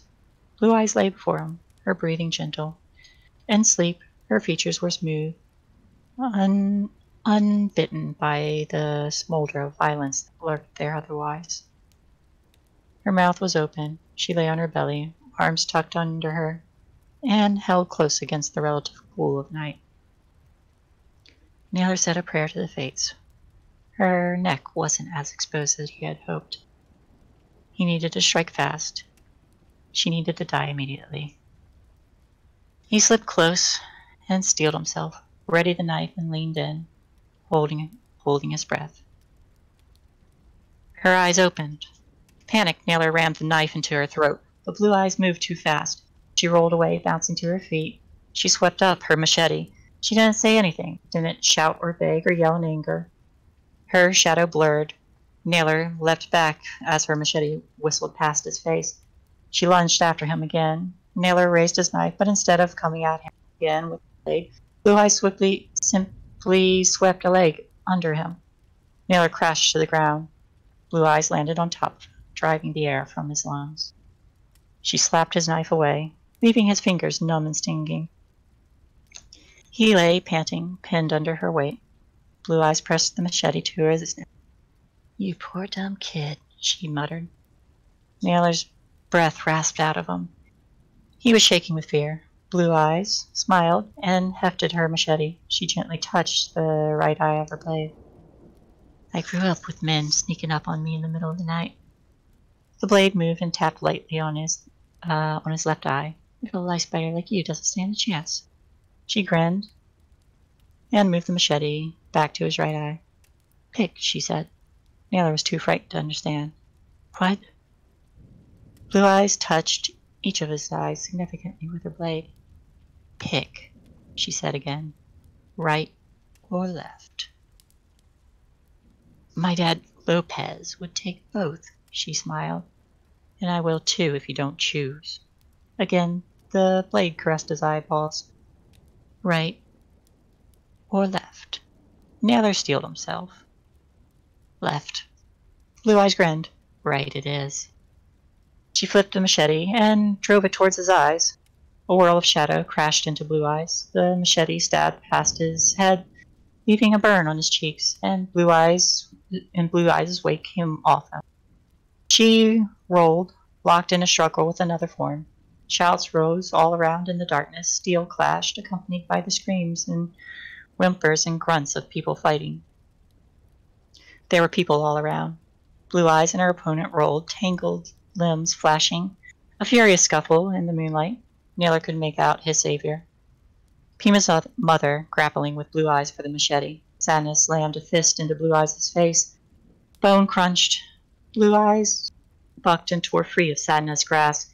She rolled and came up with her machete. The two women circled. Break off, Blue Eyes, Sadna said. It's not your fight. Blue Eyes shook her head. Boy owes me, Sadna. Thought he could take my blood. Can't let that go. And then she swept forward, faking high with the machete before crashing low. Sadna leaped back over a mossy log and scrambled for footing. Blue Eyes plunged after her, seeking the, seeking an opening. The blade whirled. Blood sprayed from Sadna's hands where she tried to ward off a blow. Sadna cried out, but didn't falter, dodged from under Blue Eyes' follow-up cut. Blue Eyes lunged again, testing. Run, Sadna, she said. Run. Blood ran from her nose where Sadna had crushed it, but she didn't seem to care. When she smiled, her teeth were black with it. Nailer scrambled to find his knife. All around, other bodies grunted and fought. A tangle of forms that had that had to be Sadna's heavy crew. He fumbled through the grasses, seeking the gleam of his blade.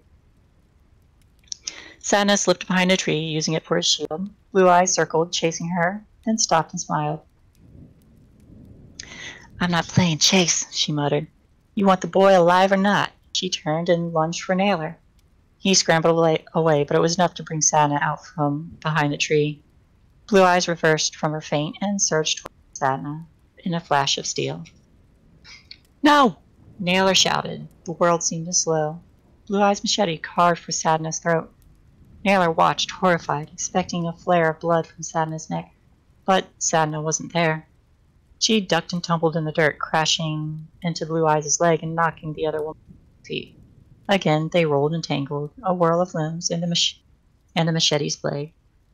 Nailer cast about for his knife, saw it laying in the leaves. He grabbed it as Blue Eyes came up on top of Sadna, her machete pressed against Sadna's throat. Sadna's own fist gripped the machete as well, fighting to keep the edge from pressing home. Her breath rasped raggedly under the blade. Blue Eyes increased the pressure. Nailer slipped toward Blue Eyes, his knife slick in his hands. Sadna's eyes widened as he came up behind. As he came, Blue Eyes, warned of the threat, started to turn. Nailers leapt onto her back and rammed the knife into her neck. Hot blood poured out, poured over his hand. Blue Eye screamed as his blade tore at the carotid muscle of her neck. Just like killing a goat, Nailer thought inanely, but Blue Eyes didn't die. Instead, she reared up, carrying him, reared up, carrying him, clinging on her back. He tried to yank out the knife and stab at her again, but the blade was stuck. Blue Eyes, Blue Eyes flailed for him, trying to reach around and get a hold of him, then bent forward sharply and tumbled and tumbled him over her back. He clung desperately, but she hammered him off with the hilt of her machete. Light exploded in his head. He hit the ground. Blue Eyes stood over him, one hand pressed against the gushing wound, and the knife still embedded in her neck. She swung her machete at Nailer clumsily, swinging at swinging that nonetheless whistled through the air. Her gaze followed him, Devil Bright determined to take him with her to whatever afterlife promised. Curses bubbled out of her mouth, the blood's the blood with it, thick. She lunged again for Nailer. Nailer dodged, trying to pin himself up against a tree or allow himself to trip. Why didn't she die? Why wouldn't she just die? Superstitious fear shot through him, through Nailer. Maybe she was actually a spirit, a zombie creature that could not be killed. Maybe the life cult had done something to her, made her immortal. Blue Eye slashed again, but as she lunged forward to follow up, she tripped, sprawled on the ground. Still she reached for him. Nailer stood frozen before her. Her hand touched his feet, clutched for his ankle. Her blood was black in the moonlight, a deep pool spreading. Nailer yanked his foot away from her twitching fingers. Blue Eyes stared up at him, her lips moving, promising death, but no words came out. Sadna pulled him away from the dying woman. Come on, let her go. Blue Eyes' blood was all over him. The dying woman's eyes followed him, hungry. Her fingers twitched. Nailer shuddered. Why won't she die? Sadna glanced at the shuddering woman. She's dead enough. She ran his she ran her hands over him. Are you okay? Nailer nodded weakly. He couldn't take his eyes off Blue Eyes. Why won't she die? He whispered again. Sadna pursed her lips.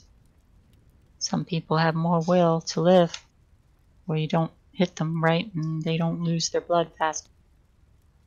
Sometimes they just don't stop the way they just don't stop the way you want them to. She glanced over at the woman. She's gone now. Let her go. She's not. Sadna jerked his face around to look into her dark eyes. Yes, she is. She's gone, and you're not. And I'm glad you were there when I needed you. You did good. Nailer nodded. He was shaking with adrenaline. Pima and Lucky Girl were freed, and they ran over to where Sadna and Nailer squatted. Damn, Pima said. You're as fast as you did, even with that bad arm of yours. Nailer glanced at her. A shiver of fear washed over him. He'd killed thugs before. He had killed things before, chickens, that goat, but this was different. He threw up. Pima and Lucky Girl backed off, exchanging glances. What's his problem? Pima asked. Sadna shook her head. Killing isn't free.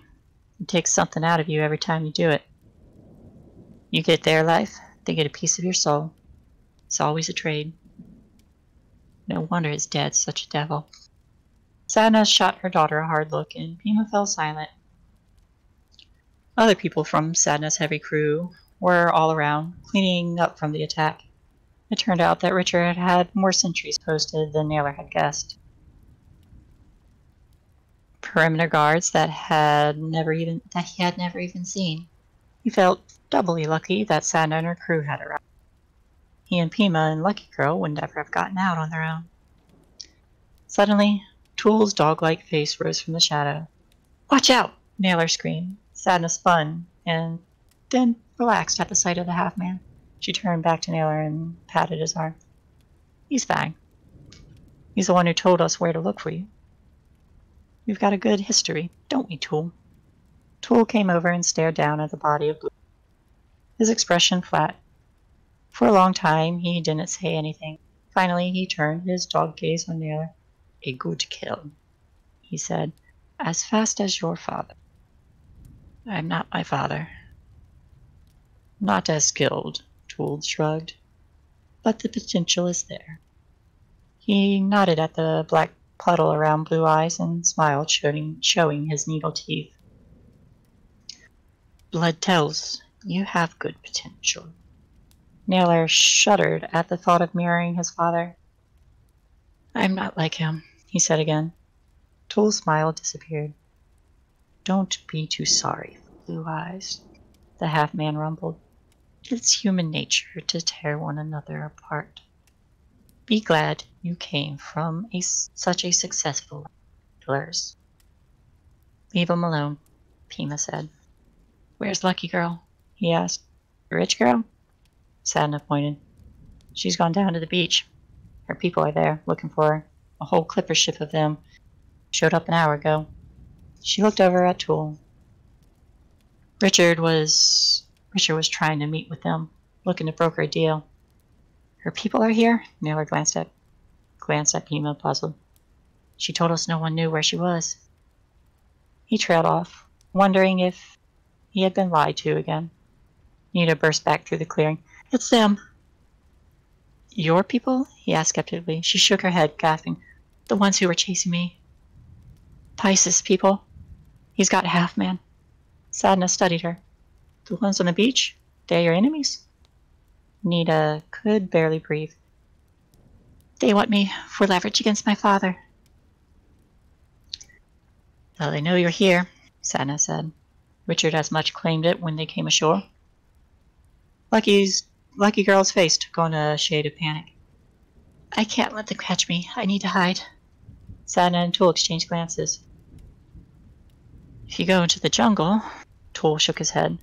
Lopez will know to hunt for her. How will you supply her with food? Who will stand for her when he catches her? Better to let her flee. Nailer spoke up. We were planning on catching the salvage train to the Orleans. She says she's got crew who would protect her. Sadna frowned. Can't go into the loading yards. No one gets in there without Lucky Strike knowing, and Richard and Lucky Strike are tight now. We can catch the train outside once it's moving. Dangerous. Not as dangerous as waiting around to see what kind of deal my dad cuts swings. Tool looked thoughtful. Could be done if they are quick. She says she's fast, Nailer said. If she isn't, she could die.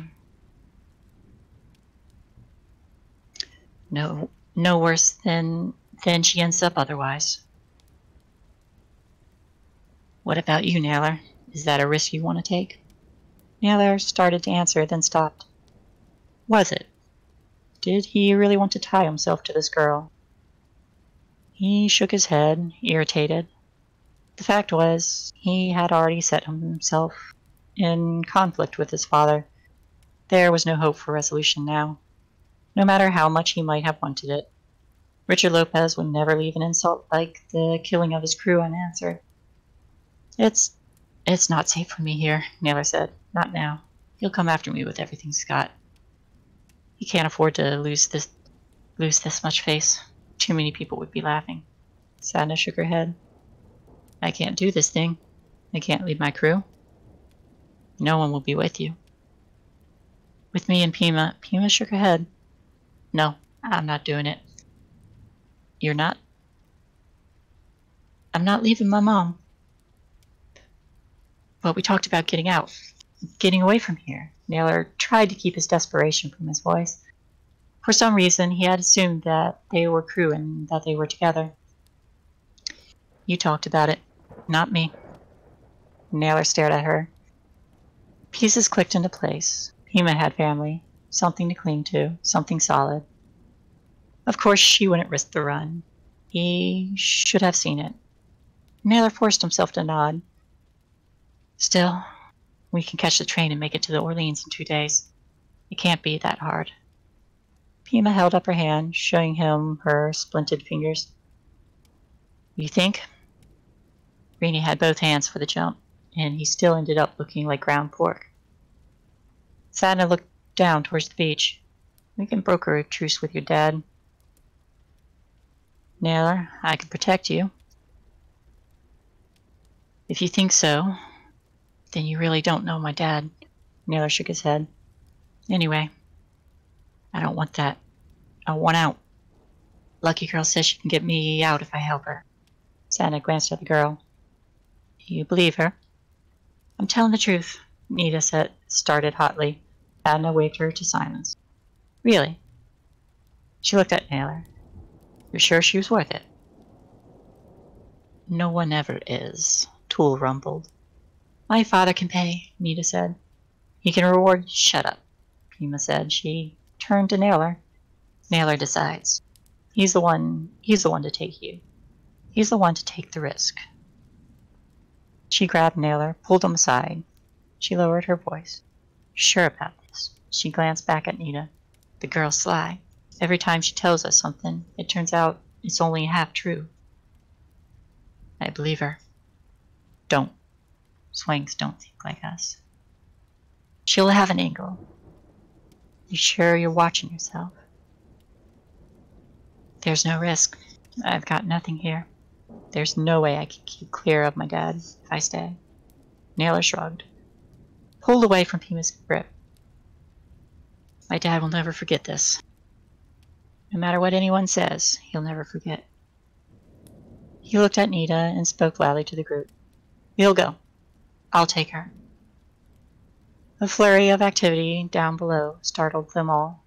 Nita scrambled up on a boulder, peering through the foliage. Get up here, lucky girl, she said. Nita climbed up beside Pima and Nailer joined her. Out on the dark water, a pale ship was anchored lights glowing like the day, lights glowing like the day, bright LED spots sweeping the water, catching the shapes of boats rowing towards the shore. Nita shook her head. They're coming for me. They'll pay a reward, too, Pima's mother said to Nailer. Mom, Pima shook her head. We're crew, Nailer said stubbornly. I'm not selling her. Pima's mo mother studied Nailer. You run, and Richard Lopez will hunt you forever. You can never come back. She looked down. You can still make a peace. Broker a deal and sell the girl to those people down there. And Richard will forget. You don't think so, but money will make him forget. Plenty. Moby and Blue Eyes and the rest are nothing in comparison to the amount of money we're talking about. Nita watched fearfully if he sold her, they'd be rich for certain. He could buy peace with his father. Lucky and smart. I need to be lucky and smart.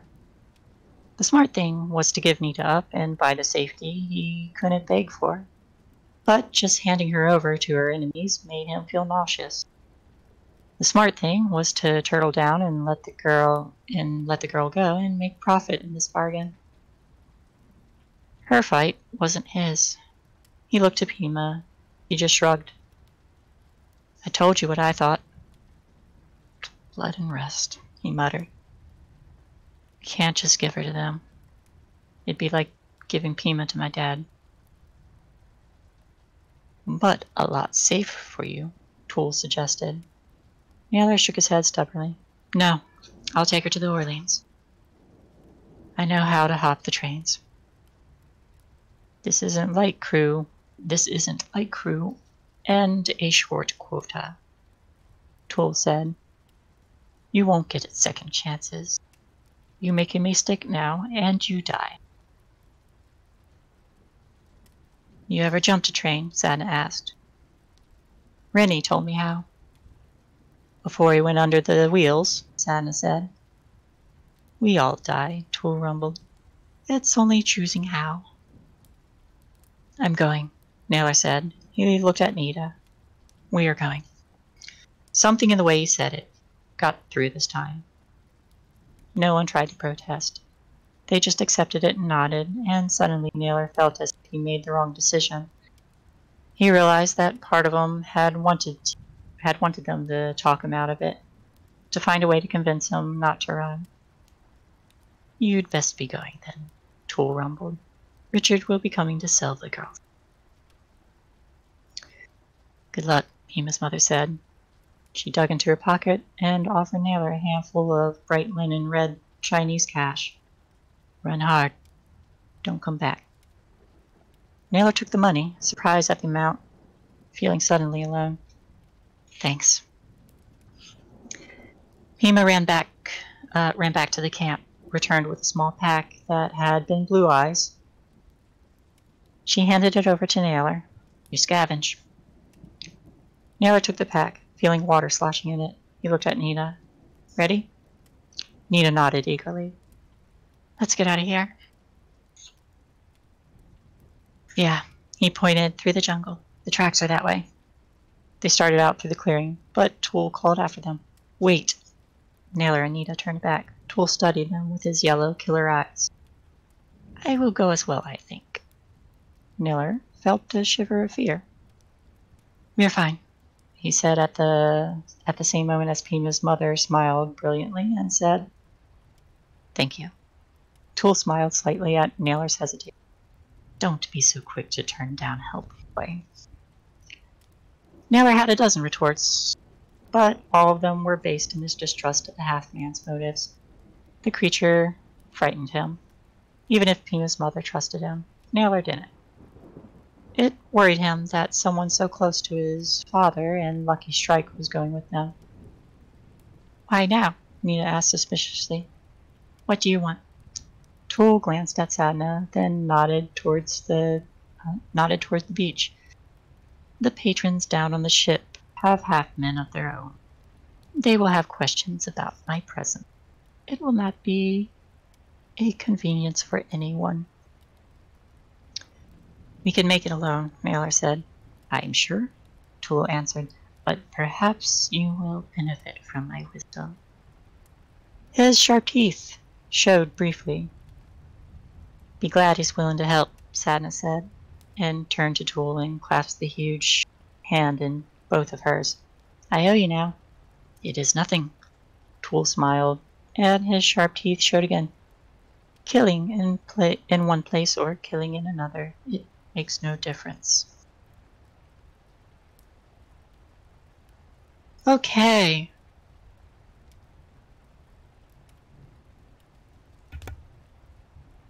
Yeah.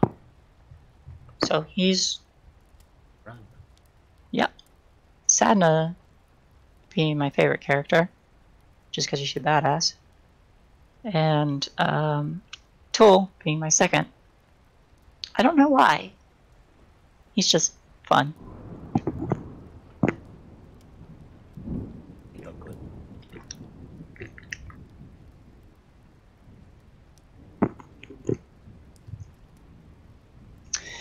Um, I actually think there's a book about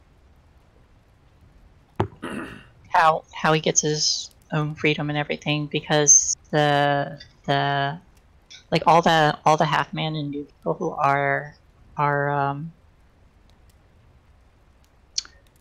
have like conditions put on them where they just naturally obey. Anywho.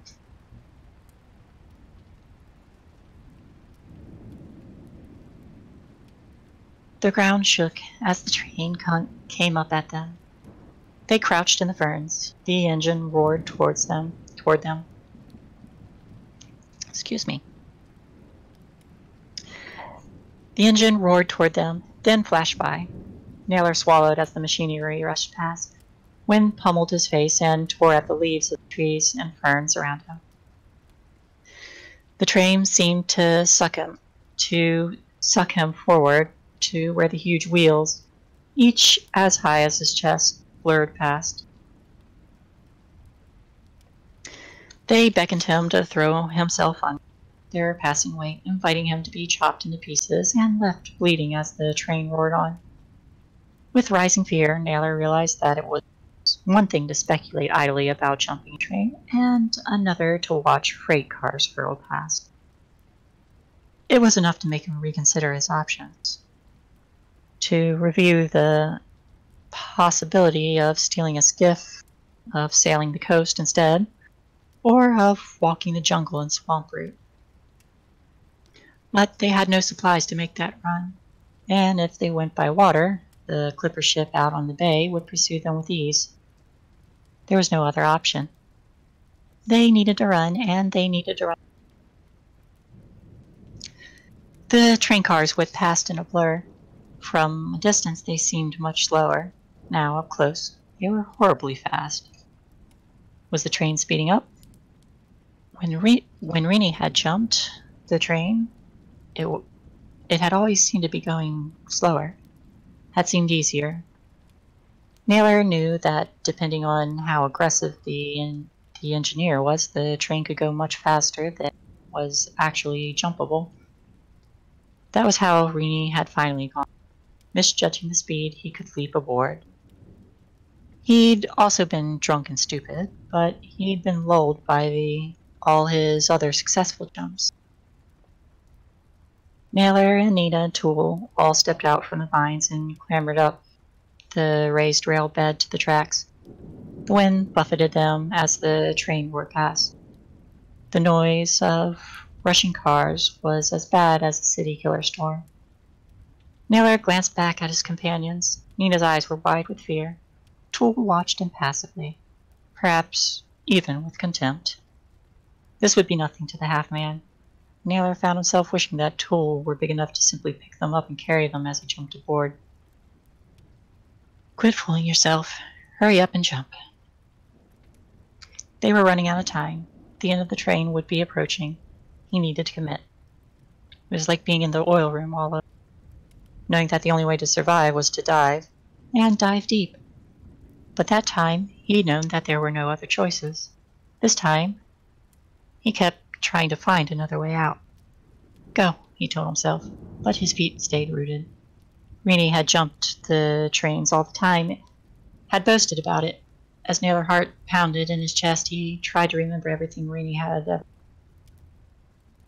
he took Nita's sh shoulder and shouted in her ear, You run ahead of the car, let it catch up, then grab the ladder and don't let go no matter what.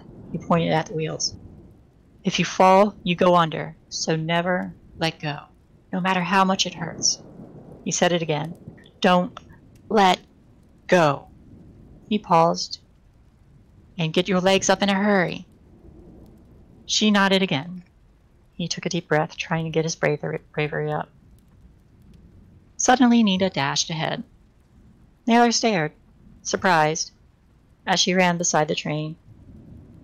She seemed pathetically small beside the rushing wheels and the ladders that ran up the sides. One ladder whipped past her, another. She wasn't even looking at the ladders of the train cars. She was just charging along beside the train, her black hair bouncing behind her in a ponytail. One ladder, two, three went by. At the fourth, she leapt.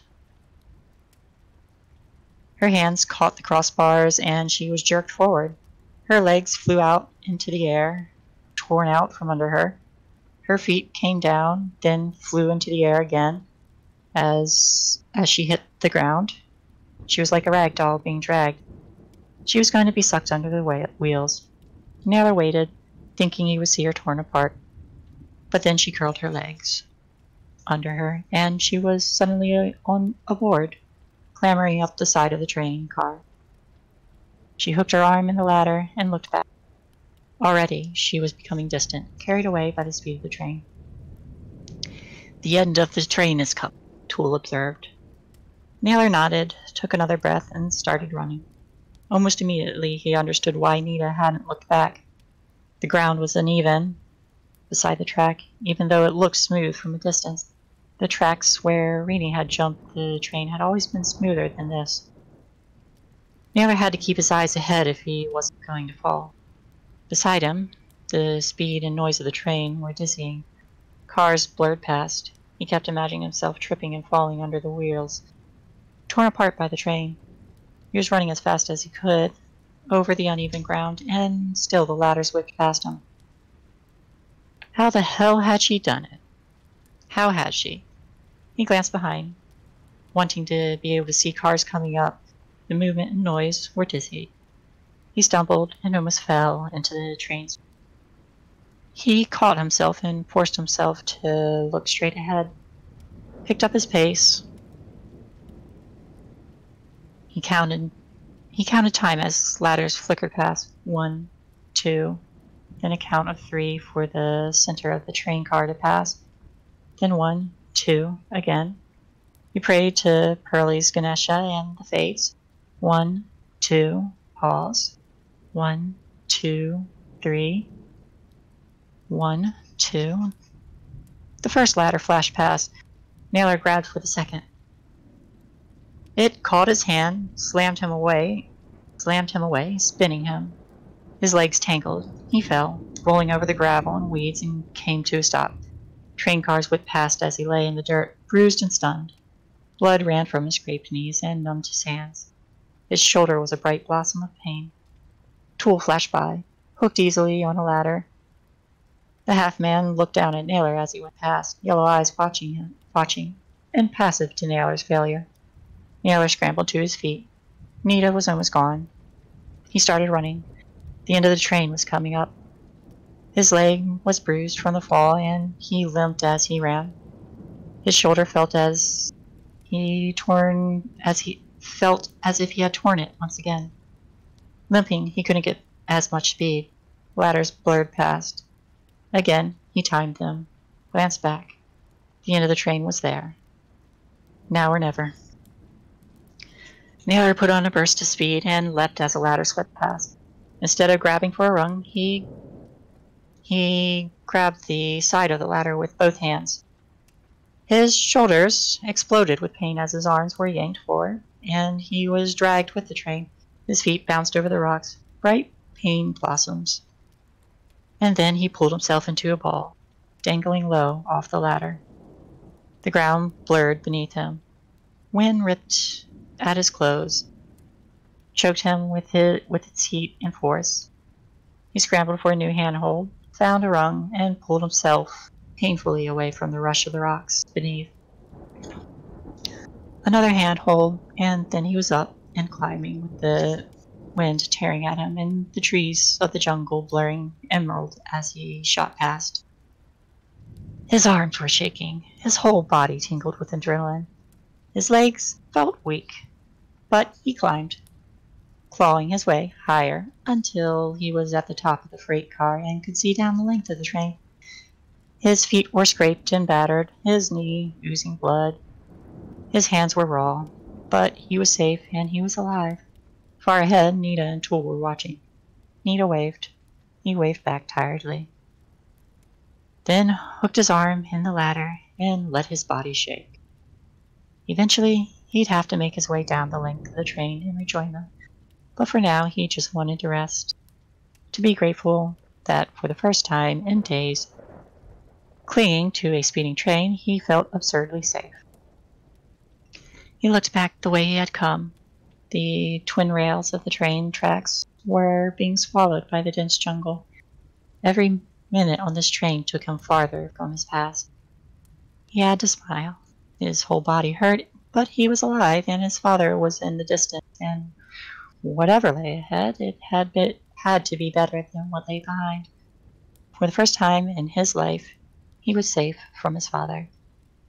The thought of safety reminded him of Pima and her mother, still there, still facing more days on the cruise, facing whatever retribution his father might devise.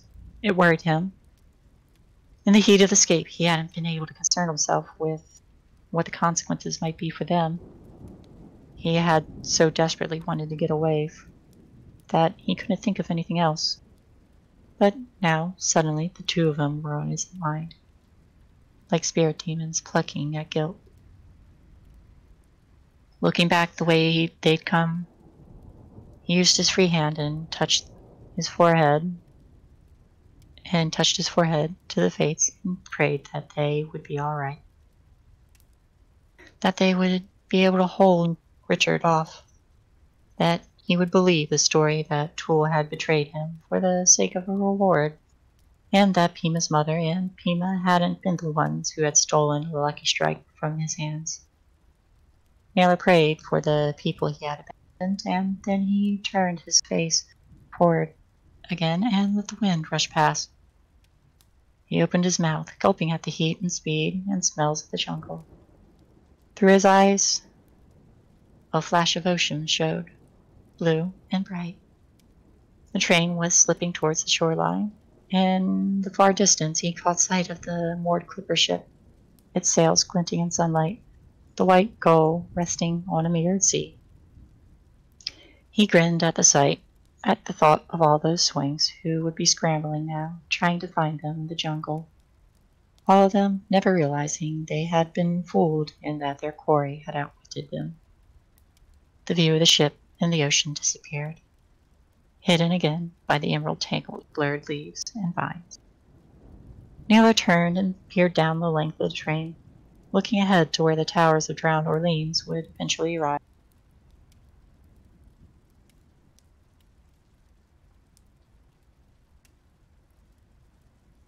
I could go on one more, or we can stop here. It's almost 10.30.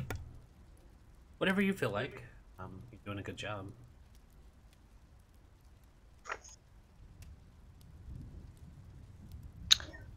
Mm. I can manage one more, I think. Okay.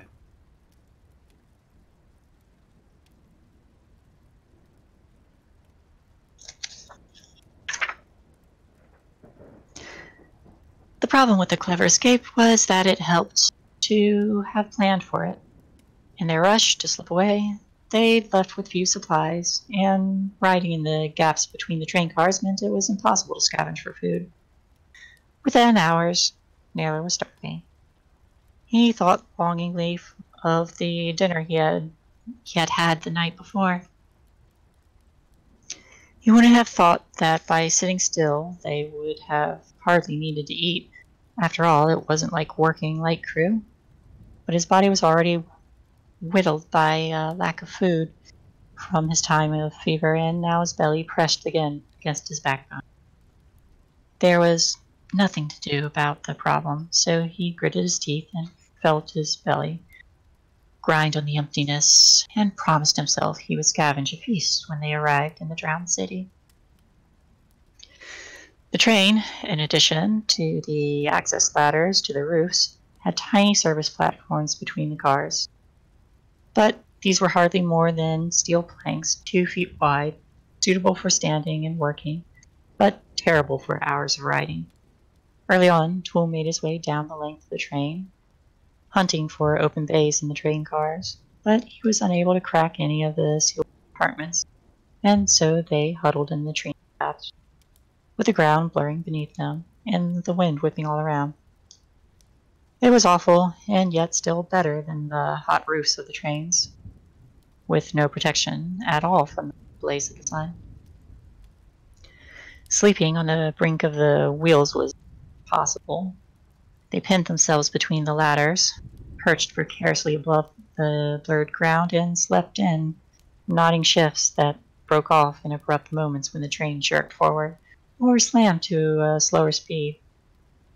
All of the trains, all the trains braking and acceleration came in jerks, and shuddering decelerations that threatened to throw them off their perches after Nailer and Nita were nearly thrown down into the train cab, they rode with their arms threaded through the ladders. Another time, as the train slammed itself to a slower speed, Tool almost crushed them. His whole bulk smashing into them, smashing them into against metal and leaving Nailer's head ring. But all those discomforts were nothing against their lack of water. The few bottles they carried in their pack were quickly drunk, and by the second day, all of them were parched and hollow in the heat and humidity. There was nothing to do but watch the landscape rush past and hope that the train would reach its destination soon. Sometimes huge lakes passed. They debated jumping from the speeding train into the pool cool, inviting water, but Tool shook his head and said that they would never catch a train again. at this speed, and unless they wanted to spend days walking, they must suffer instead. Nailer resented the idea, even though he hadn't wanted to ever try to jump a train again, and knew that the huge creature was correct. So, while they killed time and watched the landscape roll past, they talked. Who are the people who are after you? Nailer asked Nita. Why are you so important? It's Nathaniel Pyce, a business marriage uncle. She hesitated, then said, He and his people want me for leverage. Nailer frowned, confused. Nita saw the lack of comprehension. My father learned about some of his dealings. Pyce was misusing the, the family's corporate resources. Now Pyce wants to use me to keep my father from making trouble. I'm the best way to put pressure on him. Pressure? Pyce wants my father to allow something he disagrees with. If Pyce controls me, my father has to acquiesce. Pyce stands to make billions, if, and not in dollars, Chinese red cash. Billions. Her dark eyes bored into him. That's more money than your shipbreaking yards will ever make in their entire lifetime. It's enough to build a thousand clippers. And your dad's against that? It's tar sands development and refining. A way to make burnable fuel. A crude oil replacement. The valuation has gone up because of carbon production limits. Pyce has been re refining tar sands in our northern holdings and secretly using Patel clippers to ship it over over the pole to China. Sounds like a lucky strike to me, Nailer said. Like falling into a pool of oil that's and already having a buyer set up. Shouldn't your dad just take a cut and let Pyce run with it? Nita stared at him in shock. She opened her mouth, closed it, then opened it again. Closed it, clearly flummoxed. It's black market. Oh, it's black market fuel, Tool rumbled, banned by convention, if not in fact. The only thing that would be more profitable is shipping half men. But that, of course, is, is legal, and this isn't legal at all. Is it, lucky girl? Nita nodded unwillingly. Pyce is avoiding carbon taxation because of territory use in the Ar Arctic. And then when it goes to China, it's easy to sell. It's easy to sell it untraceably. It's risky and it's illegal. And my father found out about it. He was going to force Pyce out of the family, but Pyce moved against him first. Billions in Chinese red cash, Nailer said. It's worth that much? She nodded. Your father's crazy then. He should have done the business. Nita looked at him with disgust. Don't we already have enough drowned cities? Enough people dying from drought? My family is a clean company. Just because a market exists doesn't mean we should have to serve it. Nailer laughed. You trying to tell me you blood buyers have got some kind of clean conscience? Like making petrol is different than buying our blood and rust out on the wrecks for your recycling? It is. It's all money in the end, and you're worth a lot more of it than I thought. He. No problem. And you're worth a lot more than I thought. He looked at her speculatively. Good thing you didn't tell me this before I before I burned the boat with my dad. He shook his head. I might have let him sell you after all. Your Uncle Pyce would have, would have paid a fortune. Nita smiled uncertainly. Certainly. You're serious? Nailer wasn't sure how he was feeling. It's a lot of damn money, he said. The only reason you think you've got morals is because you don't need money the way regular people do.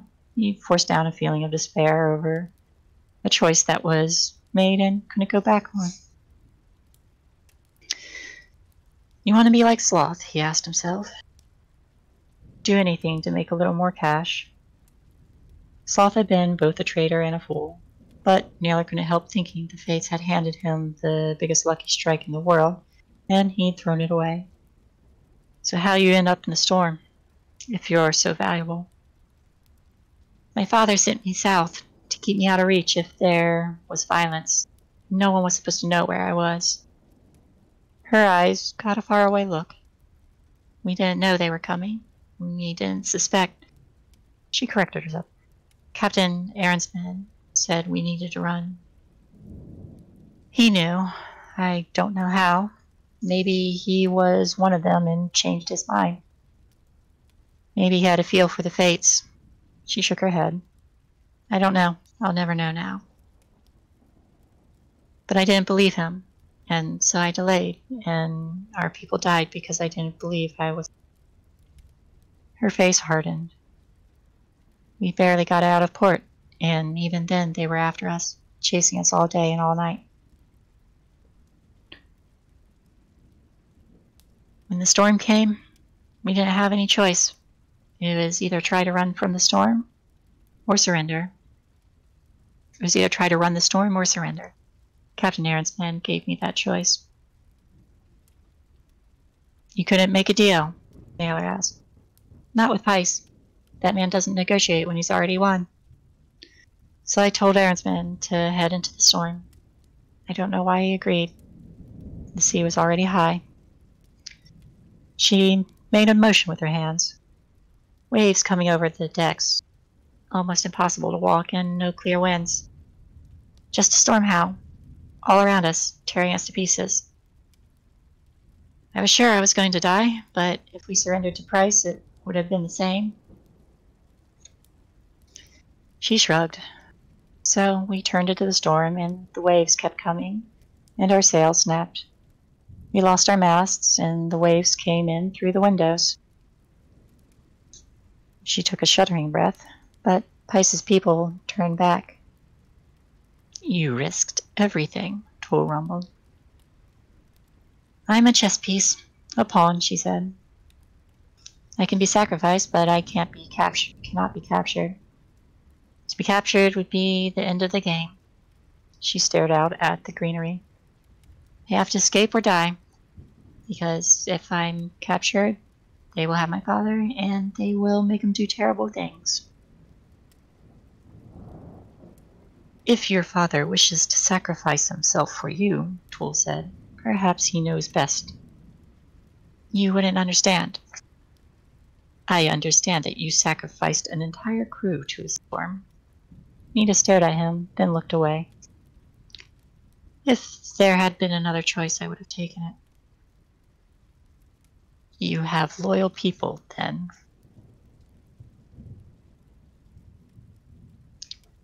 Not like you, she said it with surprising venom.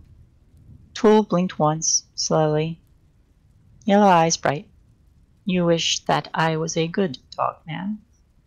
That I kept allegiance to Nailer's father, maybe? That he was. Yeah. he blinked again. You wish that I was a good beast, like the ones on your clipper ships? He smiled slightly, showing sharp teeth. Richard Lopez thought your clean blood and clear eyes and strong heart would fetch an excellent price for the, from the harvesters. You wish that I had stayed loyal to that? Nita gave the tool a dirty look, but her knuckles were pale, and she clenched her fist. Don't try to scare me. Tool's teeth showed bright and sharp. If I wished to scare a spoiled, rich, protected creature, I would not have to try very hard. Nailer interrupted. Cut it out, you two. He touched Tool's shoulder. We're glad you came with us. We owe you. I didn't do it for your debt, Tool said. I did it for Sadna. He looked at Nita. That woman is worth ten times whatever your wealthy father is worth. A thousand times what you are, whatever your enemies may foolishly think. Don't tell me about worth, Nita said. My father commands fleets. The wealthy measure everything in the weight of their money. Tool leaned close.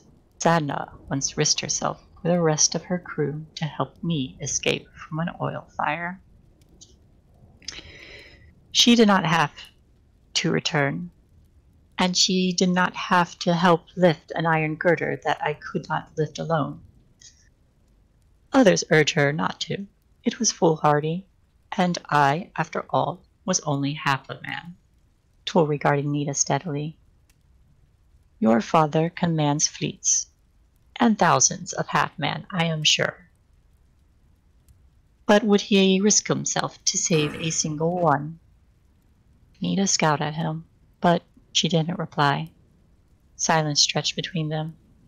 Eventually, everyone settled down to sleep as well, as well as they could in the creak of the jolt of the train. Zip!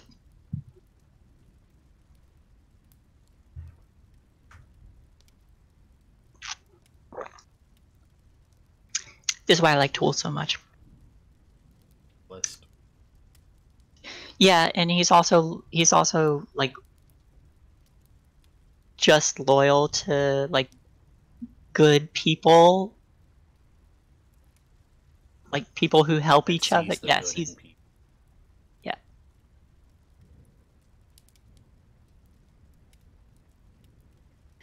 The great down, drowned city of the new, new orleans didn't come all at once.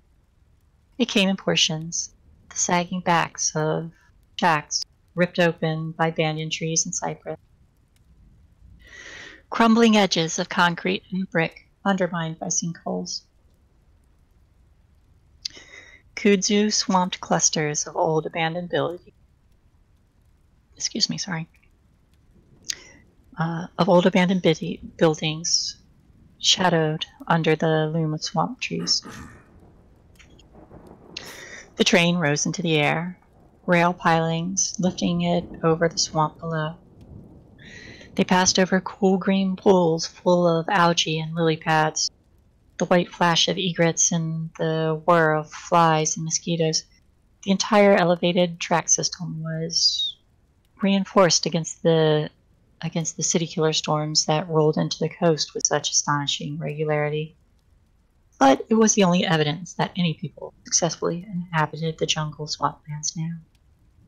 They sped above the mossy, broke-back structures of a dead city. A whole, waterlogged world of optimism, torn down by the patient work of changing nature. Nailer wondered at the people who had inhabited those collapsing buildings, wonder where they had gone. Their buildings were huge, larger than anything in this in his experience at the shipbreaking yards. The ones were the good ones were built with glass and concrete, and they died just the same as the bad ones that seemed to have simply melted in on themselves, leaving rotting timbers and boards that were warped and molded and sagging. Is this it? Nailer asked. Is this the Orleans? Nita shook her head. These were just towns outside the city, support suburbs. They're everywhere. Stuff like this, stuff like this goes for miles. From, from when everyone had cars. Everyone? Nailer tested the theory. It seemed unlikely. How could so many people be so rich? It was as absurd to everyone owning clipper ships. How could they even do that? There were. How could they even do that? There's no roads. They're there, she pointed. Look.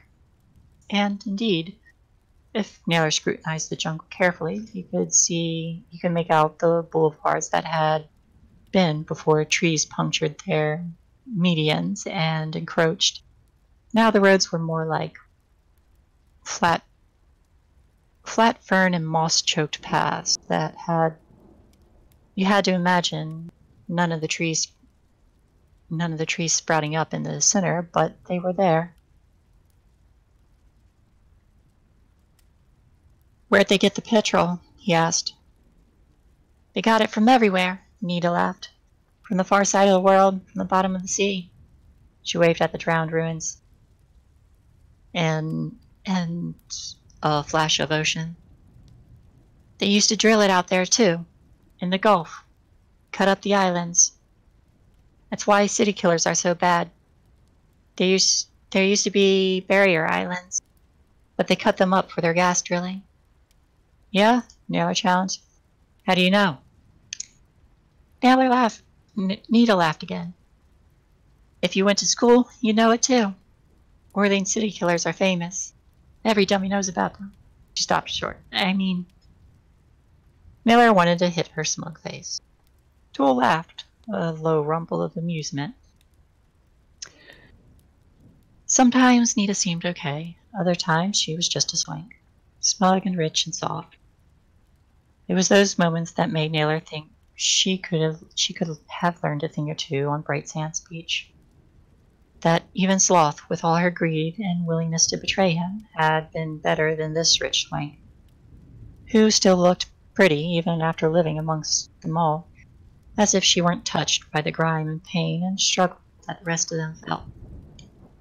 I'm sorry, Nita said, but Nailer shrugged away her apology. It was clear what she thought of him. They rode in silence. A, vill- a village showed through the jungle, a clearing carved from the trees and shadows. A small fishing community perched amongst the bogs, dotted with slumps, slump shacks like the ones that Nailer's own people constructed, with pigs and vegetables in the yards. To him, it looked like home. He wondered what Nita saw. At last, the jungle parted, opening on a wide expanse where the trees were lower, and the height of the train gave them view. Even from a distance, the city was huge, a series of needles piercing the sky. Orleans, too, Tool said. And I'll stop there.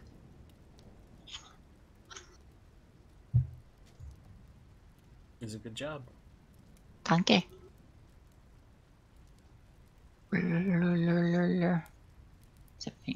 Got it.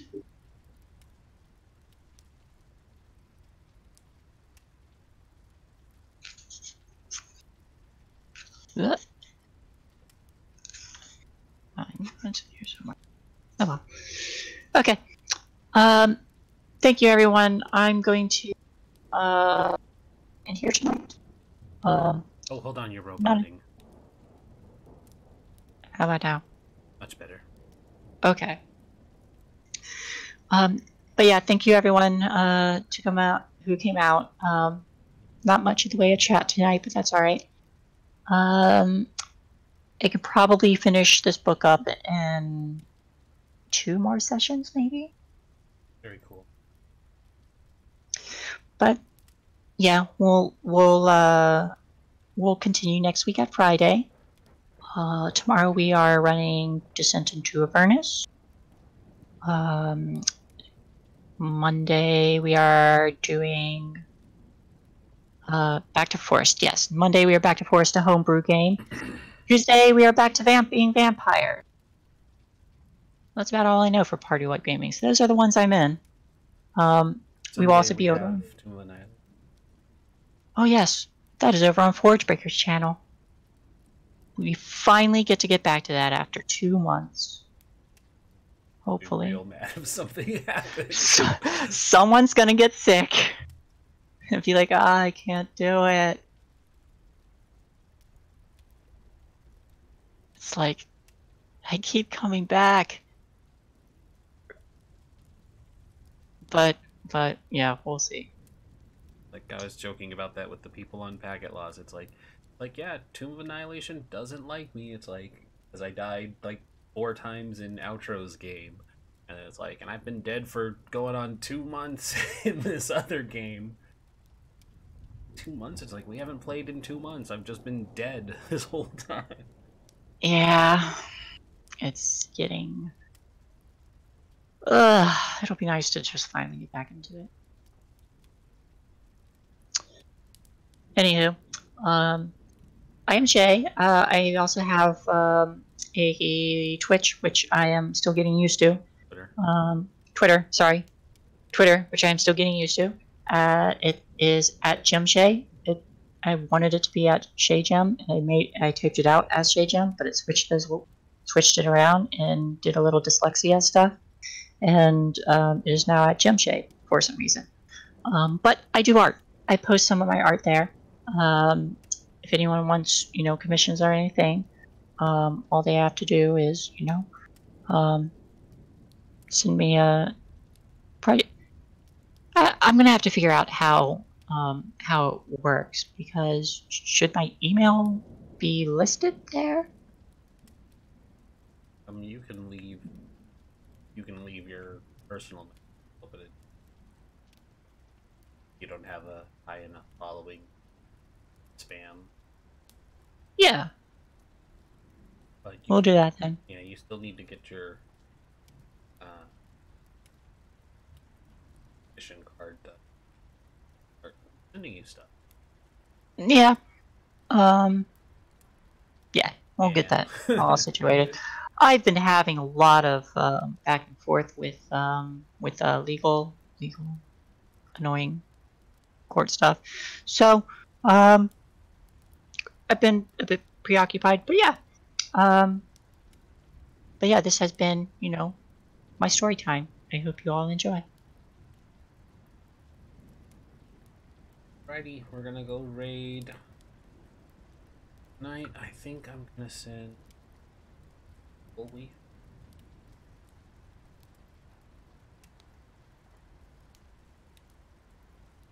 We're gonna go raid. Friend of ours. Oh. She hasn't been streaming in a while. She's playing Apex Legends, so anybody who likes those kind of battle royale games, stick around, check her out.